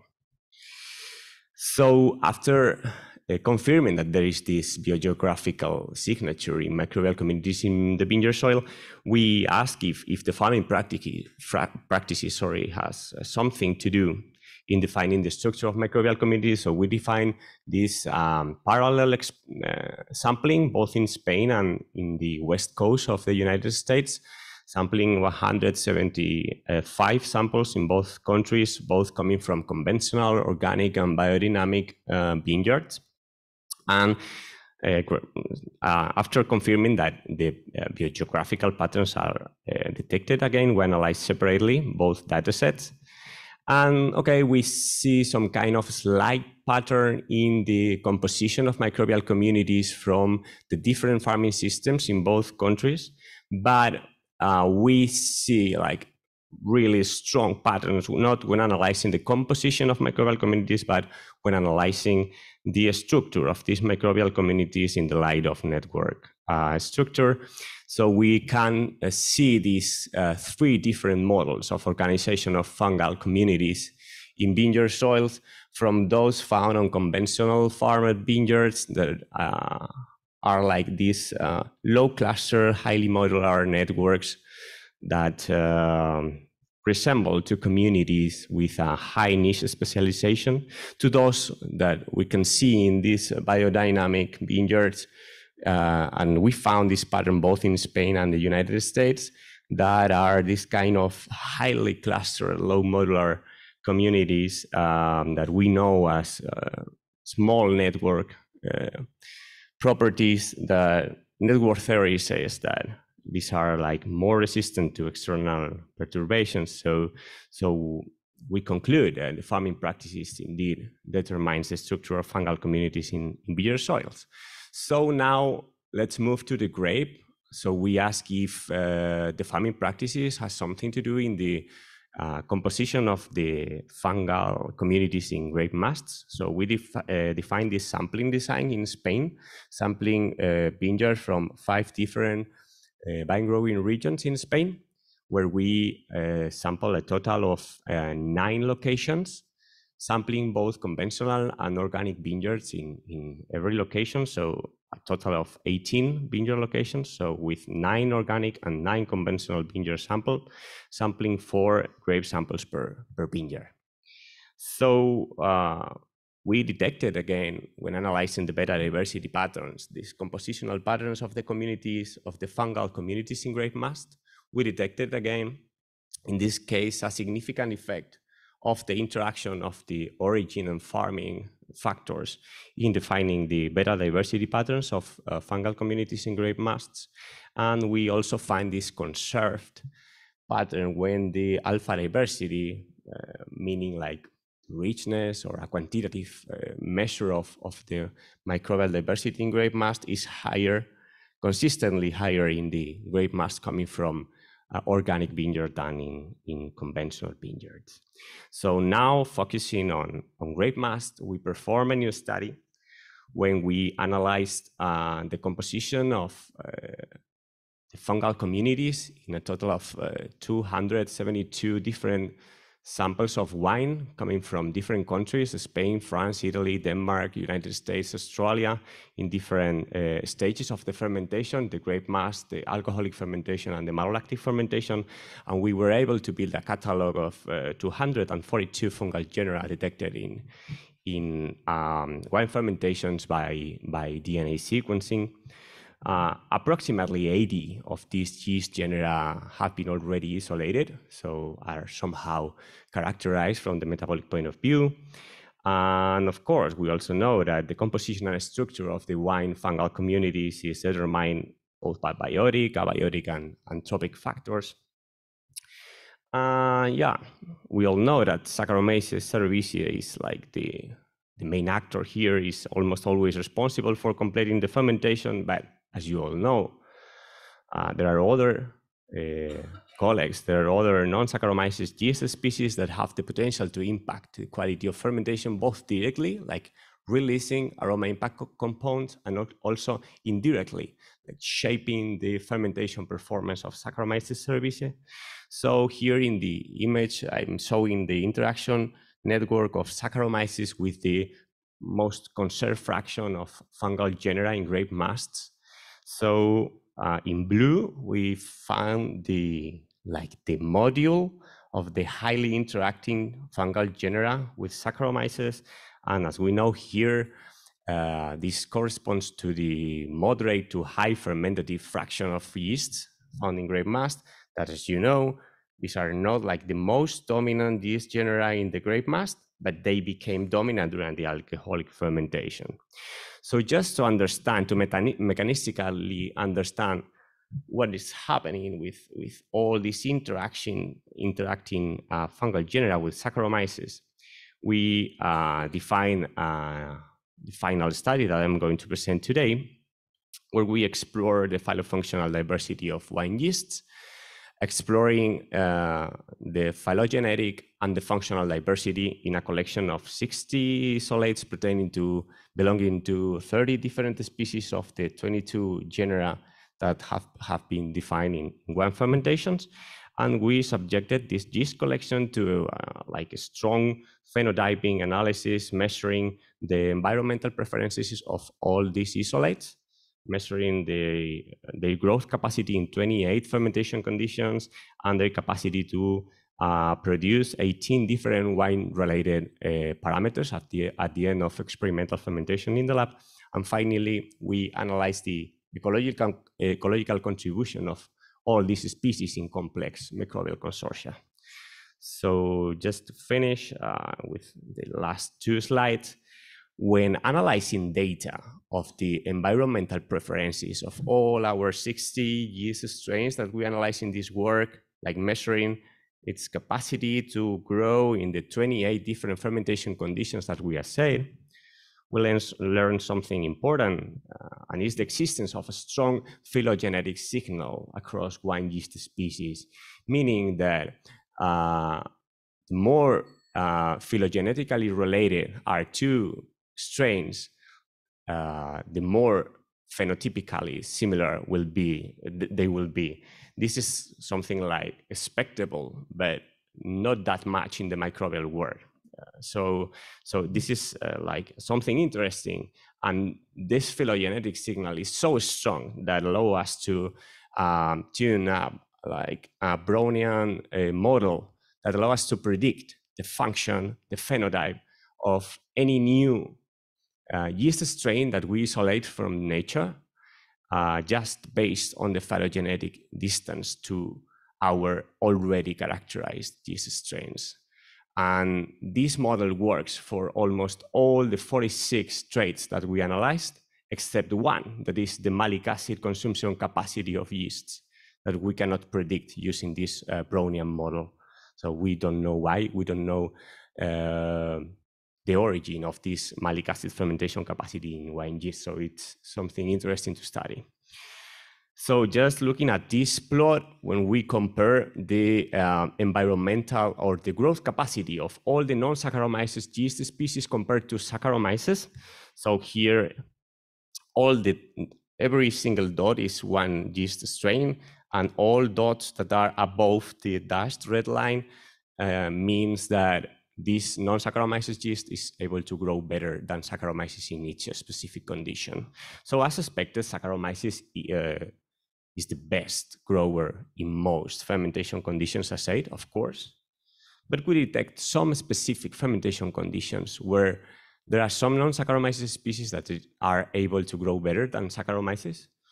Uh, for example, those fermentation conditions in synthetic grape mast, where we ferment at low temperature, or where we uh, put like limiting concentration of nitrogen or um, vitamins, uh, we found some non-Saccharomyces species able to grow better than Saccharomyces. So we hypothesized that these Saccharomyces species can uh, compromise the ability of Saccharomyces to finish fermentations. So just to finish and to understand how the biotic environment, how the ecological context may uh, compromise the ability of Saccharomyces to finish fermentations, we performed this study when we constructed uh, 320 different uh, synthetic yeast consortia as random combinations of two to six different species from a sub-collection of 10 different non-Saccharomyces species.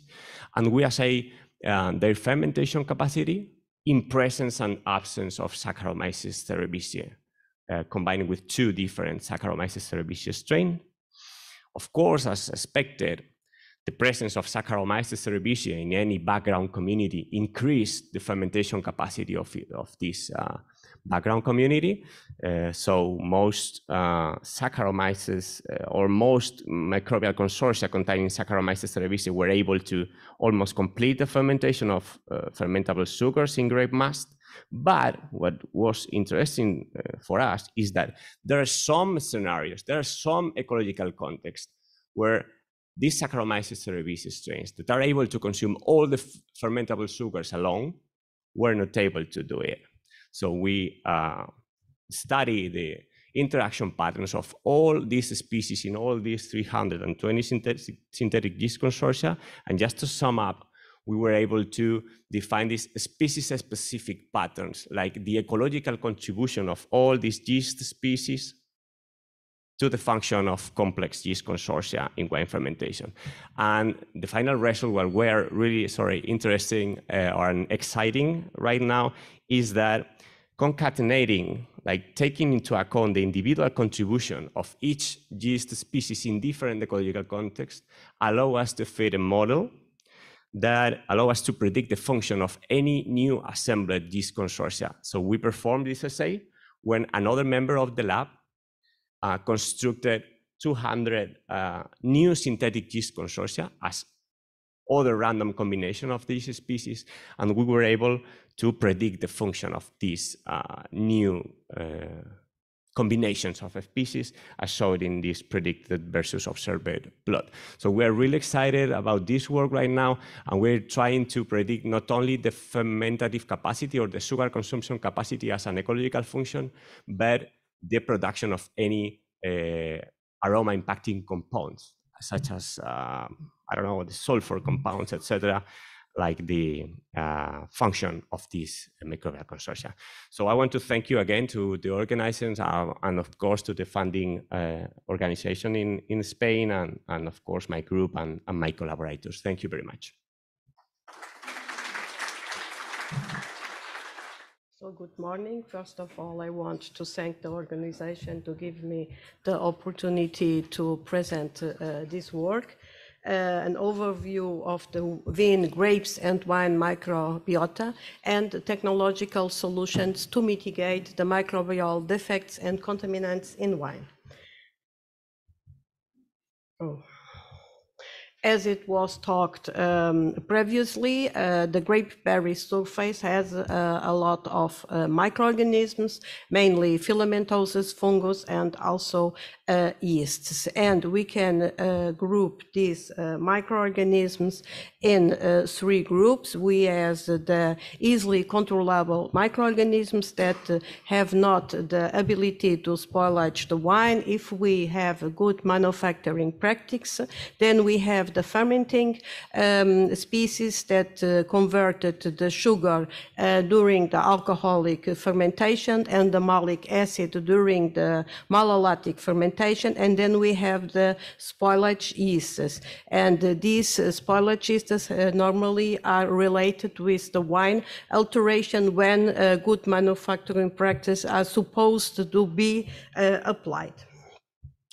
Uh, we have uh, um, spoilage microorganisms that could be uh, yeast, bacteria, but also uh, filamentoses uh, fungus. And uh, these microorganisms could uh, produce defects like visual defects, olfactive, uh, gustative, and tactile, uh, but um, uh, they can also uh, produce biogenic amines and ethyl carbamate precursors and mycotoxins. And these last compounds have um, safety risks to the human um, consumption. So uh, we have also fungal that are related uh, with the grape quality and the, the, the yield, uh, like Botrytis cinerea that is related to the gray rot. Uh, the, the microorganisms that we found in the grape berries, as it was also talked in this morning, uh, they came uh, mainly from the vineyard soil, from the air, uh, from precipitation. They will also transported, for example, by insects. And um, the vineyard soil is one of the main um, reservoir for microbiota. And so the soil, as it was also shown this morning, it's very important to study the soil uh, microbiota.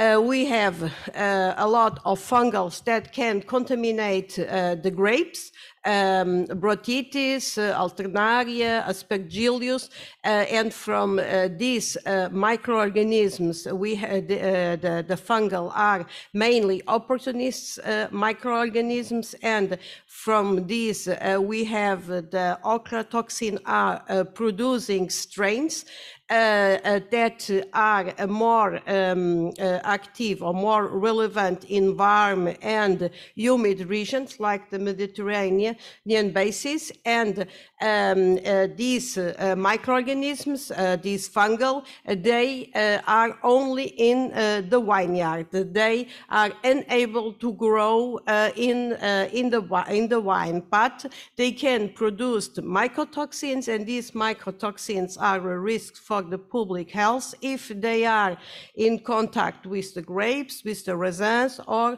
uh, with the wine. And in these cases, we can have an impact in the grape and in the wine quality and uh, safety. The microorganisms, uh, they, uh, they can be uh, in the surface of the grapes and uh, they use the nutrients that are in the intact uh, surface. Then we have another group of microorganisms that can uh, penetrate in, uh, the, in the, grape uh, the grape skin and use the nutrients uh, from the pulp. And then we have uh, other group of microorganisms uh, that uh, only um, uh, contaminated the grapes when we have a, a microfracture and uh, they used the nutrients uh, and um, available uh, through the, the, the skin. Uh, the susceptibility to form these microstructures in the grapes are uh, related to the grape variety. So we have um, grape varieties that have a thicker uh, skin and uh, more resistant to the berry rot. We have uh, also biotic factors that affect uh, the, um, the, the, the, the formation of these micro, um, micro uh, factors like the insects or the birds, and also uh, biotic uh, stress factors like the rain, the wind, um, or extreme temperatures. So from the wine uh, microbial uh, spoilage, we have the, the, uh, the yeasts, uh, and we have uh, uh the yeast can uh, produce a lot of microbial uh, spoilage, like the formation of filaments, turbidity, they can also form uh, CO2, and the, these, when they developed in the wine, they will produce wine faults like the, uh, the um, off odors, um, uh, bread, uh, bread character, geranium character. Uh, then we have also lactic acid bacteria spoilage, and uh, these uh, lactic acid bacteria can produce the, the precursors for, for example, ethyl carbamate that is resulting from the arginine degradation, or biogenic amines by the decarboxylation of the corresponding amino acid, uh, mannitol so a lot of spoilages can be also uh, related with um, lactic acid bacterial and also the fungals uh, can produce the uh, spoilage like the cork taint, uh, ochratoxin A, aflatoxins, or uh, fumonisin. So we have here uh, in this uh, uh, picture an overview to see the bacterial and uh, the, the, the yeast pathway that, uh, um, that are uh, related to the spoilage aroma and flavor compounds in wine. We have several yeasts and several bacteria that are involved in the production of these off flavors. Uh, now I will talk a little bit about uh, to mitigate uh, the, the formation of these uh, defects. Uh, so when we have um, uh, wines that are contaminated with the yeast Dekkera Brettanomyces, uh, these yeasts um, can not only the yeasts but also not only Dekkera Brettanomyces but also other species like the Saccharomyces cerevisiae and some lactic acid bacteria can um, the, uh, the, the, the phenolic acids like the p-coumaric acid, uh, the ferulic acid um, uh, into the, the vinyl phenols and then uh, by the reduction to the corresponding um, uh, ethyl phenols.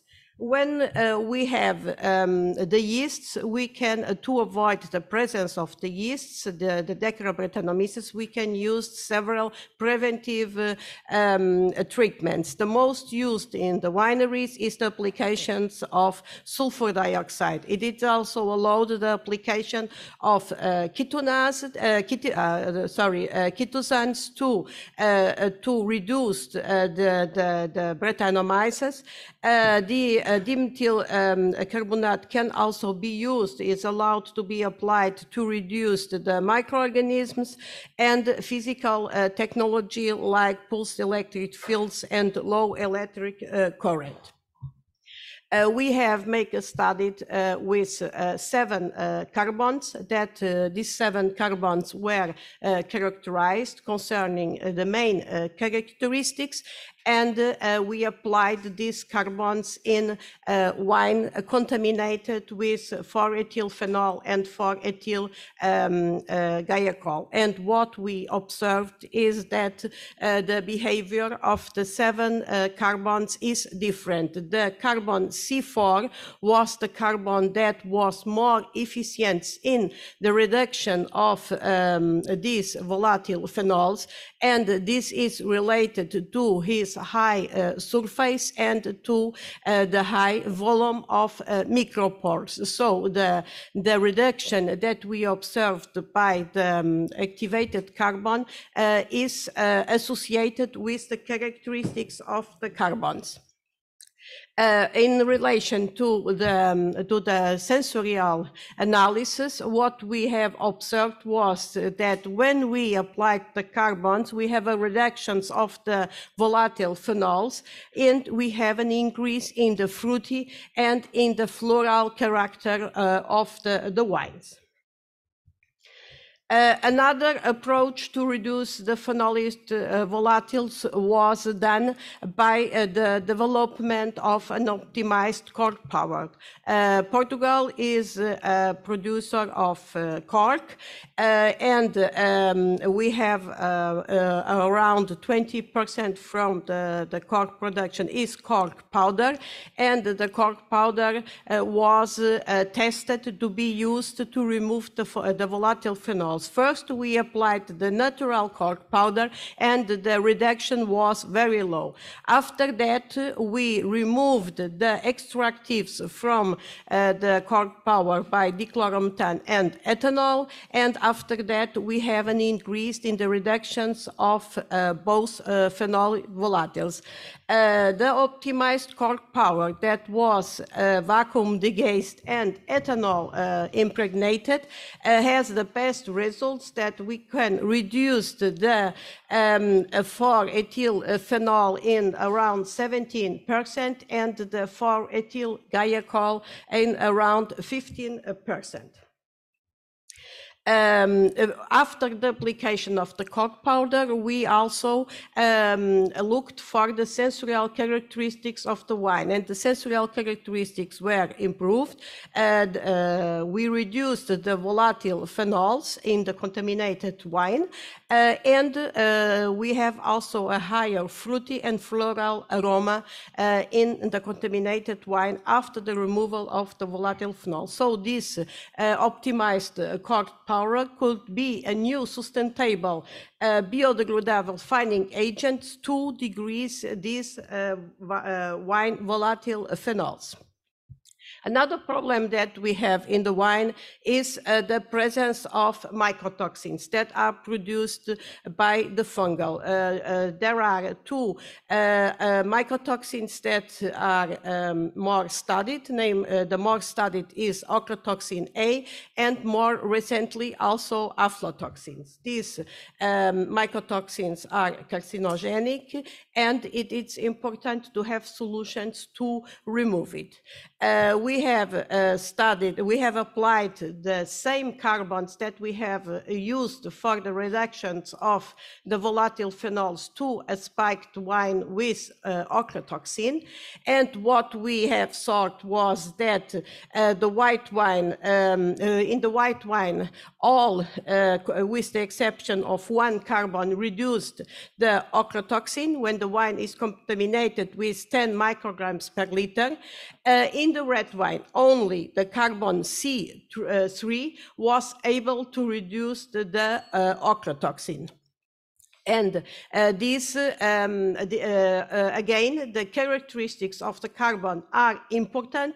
And as you remember, for the volatile phenols, the best carbon was the carbon C4, and in this case was the carbon C3. And in this case, we have a relation uh, with the mesopores, with the, the, the po- pores with higher dimension, to remove this mycotoxin um, uh, this, um, uh, this, we are able to reduce the, the ochratoxin better in white wine than in red wine because we have a competition in uh, red wine with the anthocyanins. Uh, aflatoxin uh, was uh, uh, first uh, related in uh, the aflatoxin species and the toxin in the literature after 2006 in grapes and in grape must, and after 2012 in, in wine. Um, in contrary to the ochratoxins that has a- limit that is uh, two micrograms per kilo. For the ochratoxins till now there is no legislation. And the fungal that produced aflatoxin is more thermotolerant than the, um, uh, than uh, the fungal that produced the ochratoxin. So with the climate changes that were also um, presented in this morning, uh, we can have the change in this scenario in the foreseen future to maybe uh, have uh, more aflatoxigenic uh, fungal. Uh, we have uh, tested uh, several fining agents to remove uh, aflatoxins, and uh, the most efficient was uh, bentonite. Bentonite uh, uh, removed uh, 100% uh, aflatoxin A1 and uh, B2 uh, from the white wine, and in the red wine, the aflatoxins uh, B2 was only reduced in 82%. Only aflatoxins uh, uh, B1 was reduced 100%. So uh, related, we have also uh, studied the impact on the characteristics, namely on the color. And what we have observed was that in white wine, we don't have significant effect on the chromatic characteristics, but in the red wine, we have um, uh, effect on the chromatic characteristics. We have a decrease of 14% in the total anthocyanins, and uh, but this is uh, 1.5 point of the color intensity. But uh, when we, uh, um, the, the gain that we have in wine safety, um, with the low impact that we have in the wine color, bentonite co- uh, could be considered a good fining agent to deal with this uh, problem. Uh, in conclusion, we can say that we have a lot of uh, microorganisms in the, in the grapes, And uh, um, the microbiota, as it was talked uh, in the morning, uh, has uh, uh, several factors that influence the, uh, the, the, the different microorganisms. Um, to the food safety, the most important is to have good manufacturing practices in the vineyard and during all the process of uh, the wine production. And if we unfortunately have the contaminant or the defect, uh, we should uh, use the well-characterized uh, products to eliminate it, to have uh, good efficiencies in the removal and less impact on the wine quality. This is my laboratory in Vila Real, uh, the food and uh, wine chemistry lab, and I invite all of the participants to be in the first international meeting of Moleculars for Life in Vila Real in September. Thank you for your attention.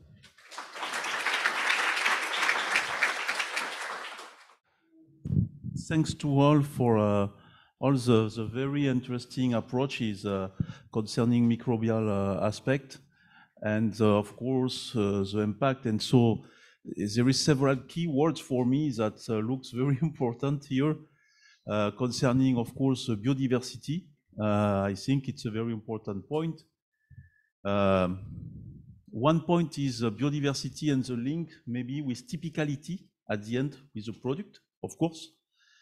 Uh, is uh, the natural uh, the, the capital uh, of the or the panel of all the strength um, has changed during the, the, the different uh, decades or not, and uh, what can be the impact on the typicality. This is the first point. Um, the second point is also the practice, uh, because in the talk of Ignacio, uh, you were able to show that there is some lit well, some parts are commune, but some parts are really different in function of the type of practice, conventional, organic, or uh, maybe biodynamic. So, what is uh, the impact also at this uh, uh, for these different uh, steps?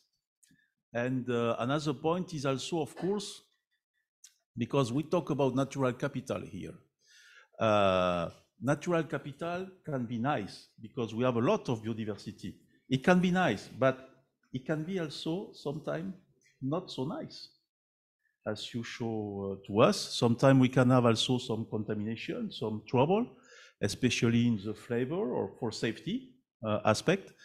And uh, is the future also with climate, uh, climate change finally um, a key point uh, for more trouble of, of flavor in wine. Uh, for example, I remember that we saw a, a mousy flavor now arriving on the market. It was not the case maybe 10 or 15 years ago. Uh, so what's the reason and what we can do? And should we mix? Because the, idea of the consortium also of the uh, microbe is a very important issue. So is it an obligation now to mix, uh, to go through uh, mixity uh, of uh, strain and species uh, to try to adapt? Because now we, it looks like that uh, uh, biological, the biology is a very important issue for a lot of things. Bioprotection, revelation of aroma, to finish the fermentation. Well, I mean, there is several aspects there that can be considered. Uh, so it, I, I, I understand that uh, I ask a lot of things, of course, uh, but I would like to have your viewpoint uh, to, to, well, probably uh, the two of you, uh, because you are really a microbiologist and specialist, to, to, to see what is the point here. So Okay, um, it's a, a little bit difficult question for me, but the, um, for uh, if, if I talk in the condition in Hokkaido in, in, in Japan, uh, still uh, we have you know we're region one and uh, in higher acidity we have. So um, actually in Hokkaido, the many uh, producers doing the you know uh, natural or the natural fermentation, as as we say. And um, it's um, still, you know, we have raw pH of the mast, and the um, in many cases it's still successful, and uh, it's uh, one of the uh, very good point in the to make the you know uh, the for the terroir uh, taste or the flavor in Hokkaido. But um, we need to uh, know that what kind of the uh, bacteria is, is living there uh, because uh, we have not tested yet anything. So um, we need to of course characterize everything and, and also the, we need to compare, as you said, and between the practices. Some some um, uh, farmers doing the organic and some some farmers not. But um, you know, Hokkaido is a cold place and also uh, is in Asia, and we have much much snowfall.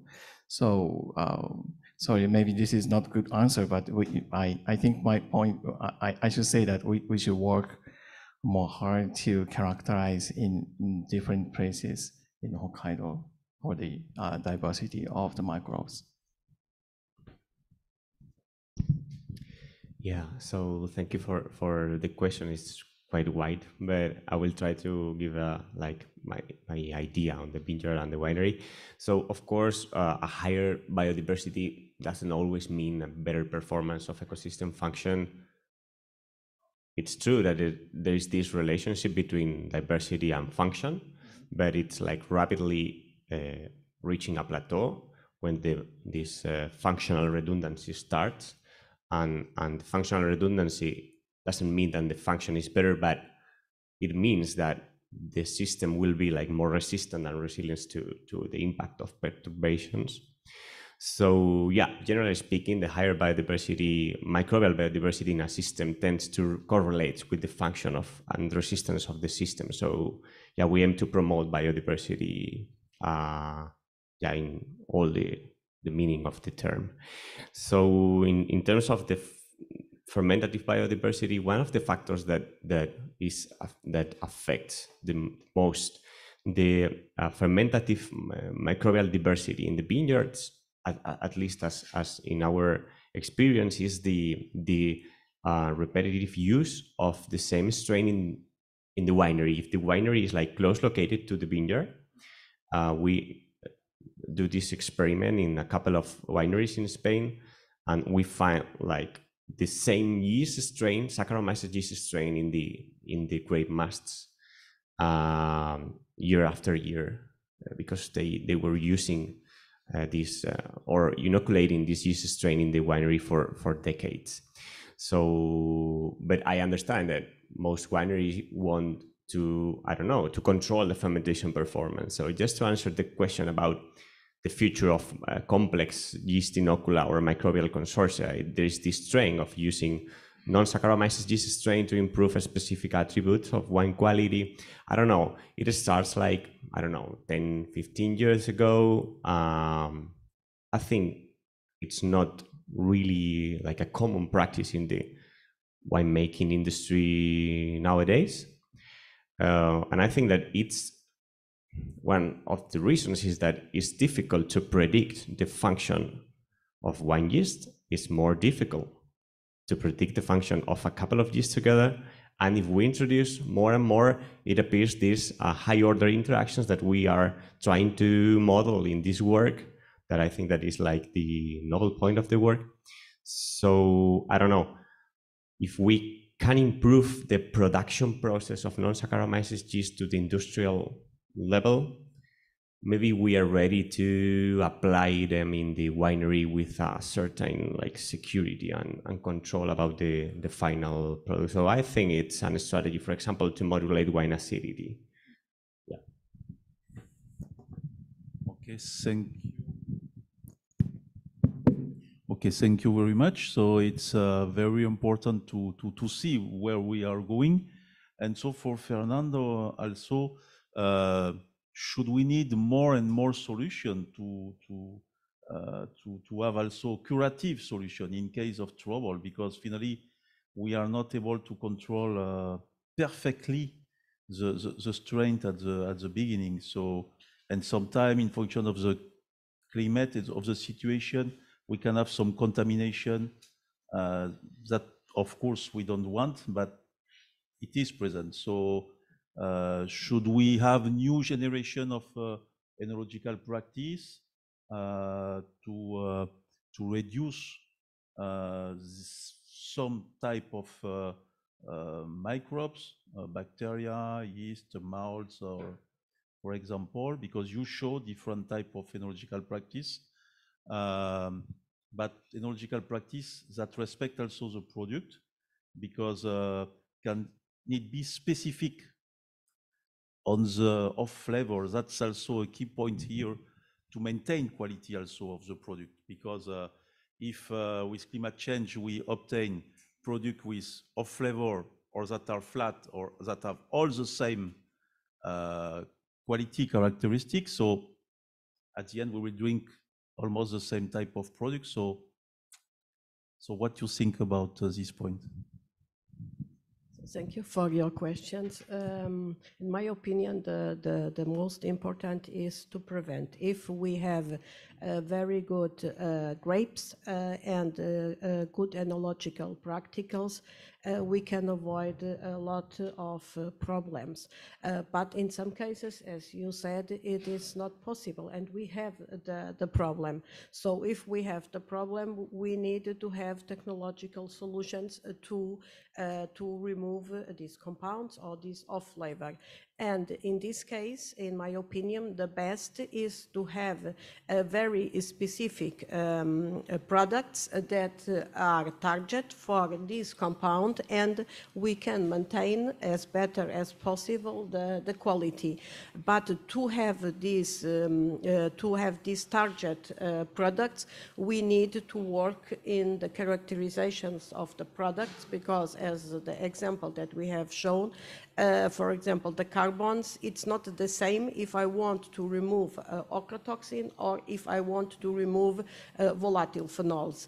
Um, and if I use uh, the wrong uh, carbon, uh, maybe I don't have the, the efficiency in the removal of the defect and I have more quality impact. So in my opinion, we need to, to work first in prevention. This is the first step to have uh, good quality grapes, to have a good work in the vineyard and also in the selection of the grapes that we will uh, use the- for the wine production and to be very careful in all steps of the winemaking uh, till bottling.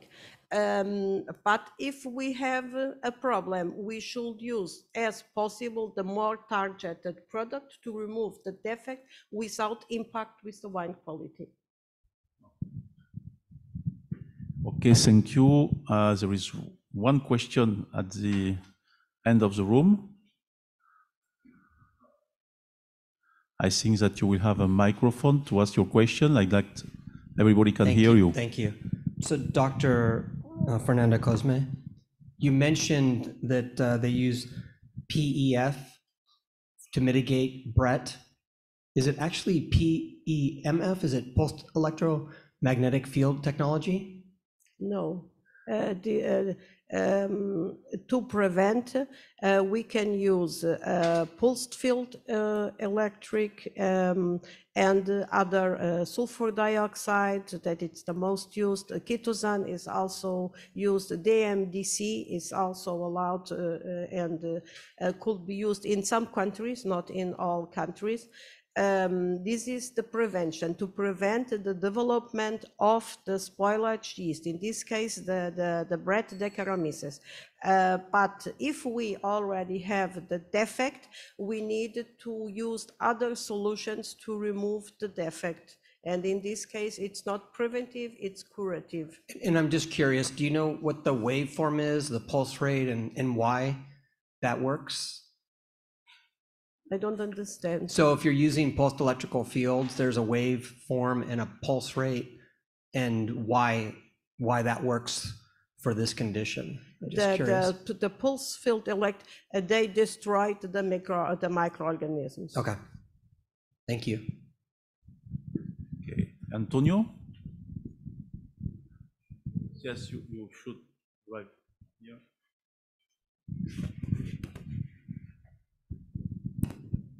Thank you. Um, Ignacio, um, one of the things that uh, peop- uh, people working on the field, looking into biodiversity and ecosystem management, uh, need to understand is what are actually these microorganisms are doing in the field and how can we promote or reduce them in, as, a, as a function of that.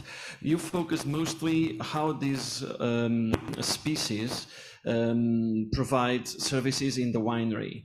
But from a standpoint of management of their origin in, in, in the ecosystem, what can you tell us on how the information you provide can be used to uh, pilot the practices in order to provide those services to the ecosystem? Thank you, Antonio. Uh, yeah, this is in, fact a, a pending question. I focused on the function of microbial communities in the wine fermentation because the function is easier to measure. It's just the, the, the sugar consumption capacity. You can measure a bunch of other functions. Like um, we are, we're trying now to be able to predict not only the sugar consumption capacity, but the production of lactic acid, the production of a specific aroma. So, um, unfortunately, in our two works, the global survey that we performed in the vineyards, uh, we uh, did not measure um, the, the uh, metabolite profile of the soils. But the good news is that we are now involved in a new project that is led by my colleague Raúl Ochoa in the University of Cádiz. That is another global survey that, as part of the uh, Global Crop Microbiome Initiative, uh, and they sample uh, like 300 samples like us all around the world, but they are measuring, uh, they are analyzing the soil, the rhizosphere, the leaves, and the grape microbial communities, and they are measure the metabolomic profile in all the places. So we, yeah, with this work led by Raul, I think we will kind of answer your question about how a specific mic microbes correlates with a specific ecosystem functions. Uh, that is an answer that is not questioned now, um, but just this uh, like these different um, association association networks that we detect, like the different organization patterns that we found in in in the microbial communities in different farming practices. Uh, we should demonstrate experimentally that a certain network structure means something but uh, we can simulate in the computer the impact of removing each node from this network and the impact of removing one node from a low cluster, highly modular networks has a higher impact in the global structure of the community. Okay, because if a community is like structurally dependent of one connecting net, node, if you remove this node, a lot, yeah, a lot of connections will will be lost. So, but these other, like more cluster networks will be more resistant to external perturbation. Uh, I insist that this, this is just like uh, simulations, computer simulations, and we should demonstrate that these highly clustered networks means like more resistant communities in nature. But there are some experiments ongoing. Thank you. Okay, I think it was one question on this side. Can, can you bring the microphone, please?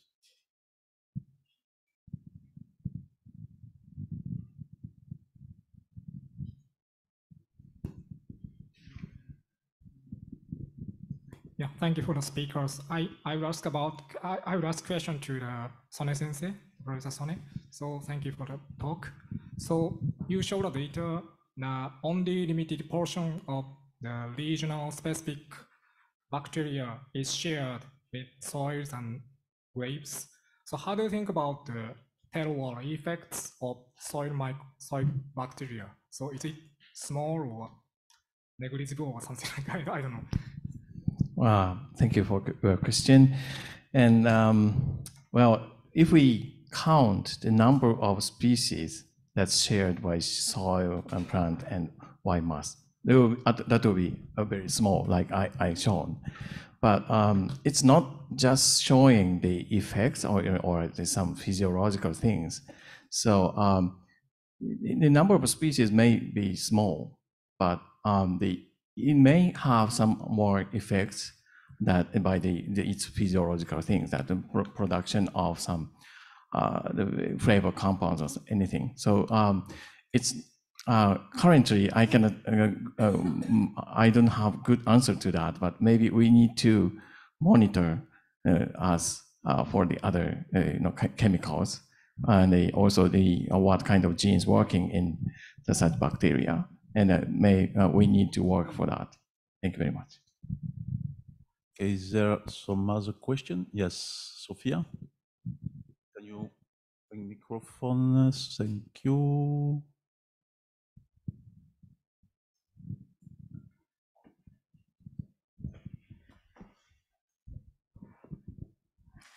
Uh, I don't have exactly a question, it's more a, a comment, but I would like to start by um, congratulate all the, the, the speakers by the, for the interesting uh, interventions.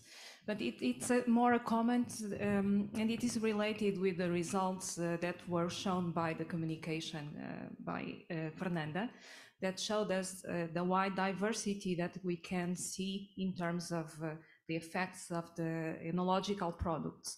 So it seems to me that we need to work a lot on this because we need to to improve um, in in this uh, in this field uh, in order to um, to work in a more precise and effective way. Um, by this way, we can uh, improve a lot in terms of sustainability. One of the of the goals is to decrease the, um, the application, to minimize the application of enological products. And it seems to me that sometimes the enological products, the treatments, are carried out um, in a standard way, sometimes without uh, the required optimization. So we need select, we need to, to characterize better the, the enological products like uh, Fernanda uh, pointed out. Uh, and we need to uh, really to, to work, to, to uh, to improve uh, and to start working in a more precise way. So we can talk in, in relation with the concept of uh, uh, uh, precision, precision enology. Thank you.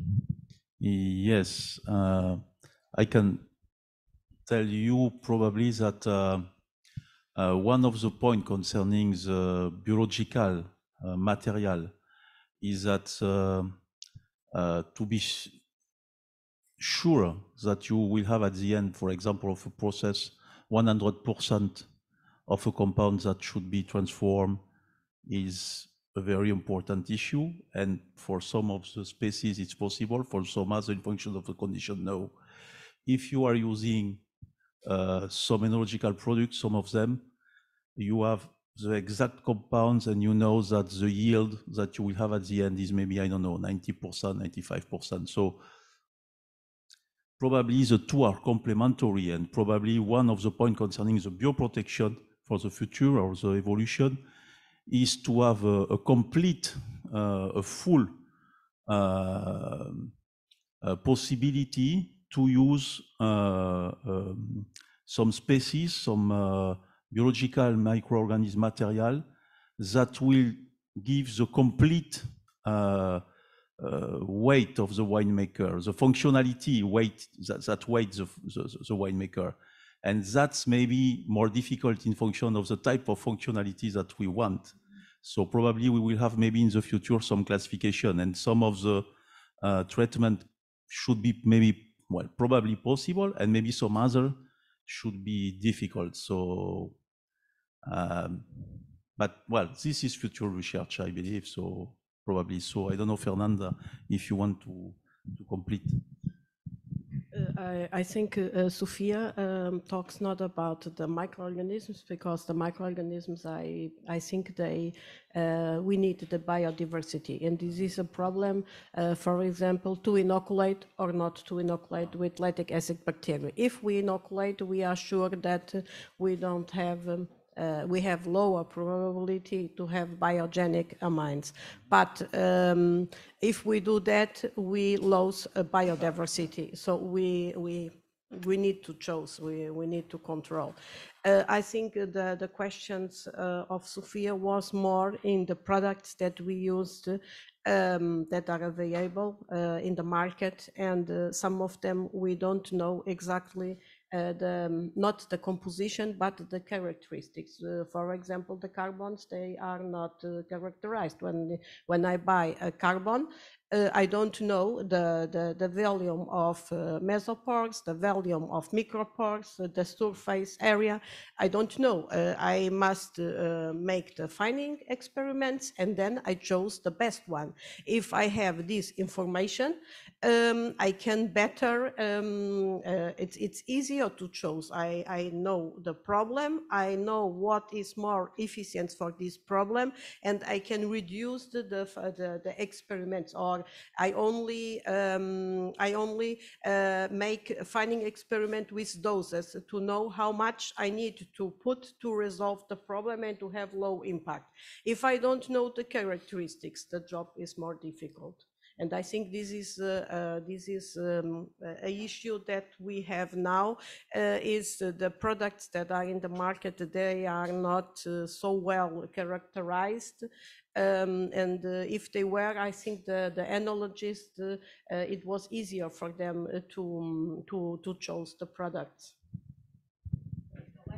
Oh, oh, Okay, Th- this is some work, in fact, I think at the level of the OIV, in the specification uh, expert group. Uh, As you know, there is an enological codex, and so all of that is precise in, uh, for all enological product uh, normally. So if it's not done because uh, we have just one product now, and if we want to develop several products, this should be uh, compulsory before to use it or to have it in the regulation. So this, this is an important point, but this is the future of development if you want to have some uh, precise uh, uh, enology and treatment. So some more comment?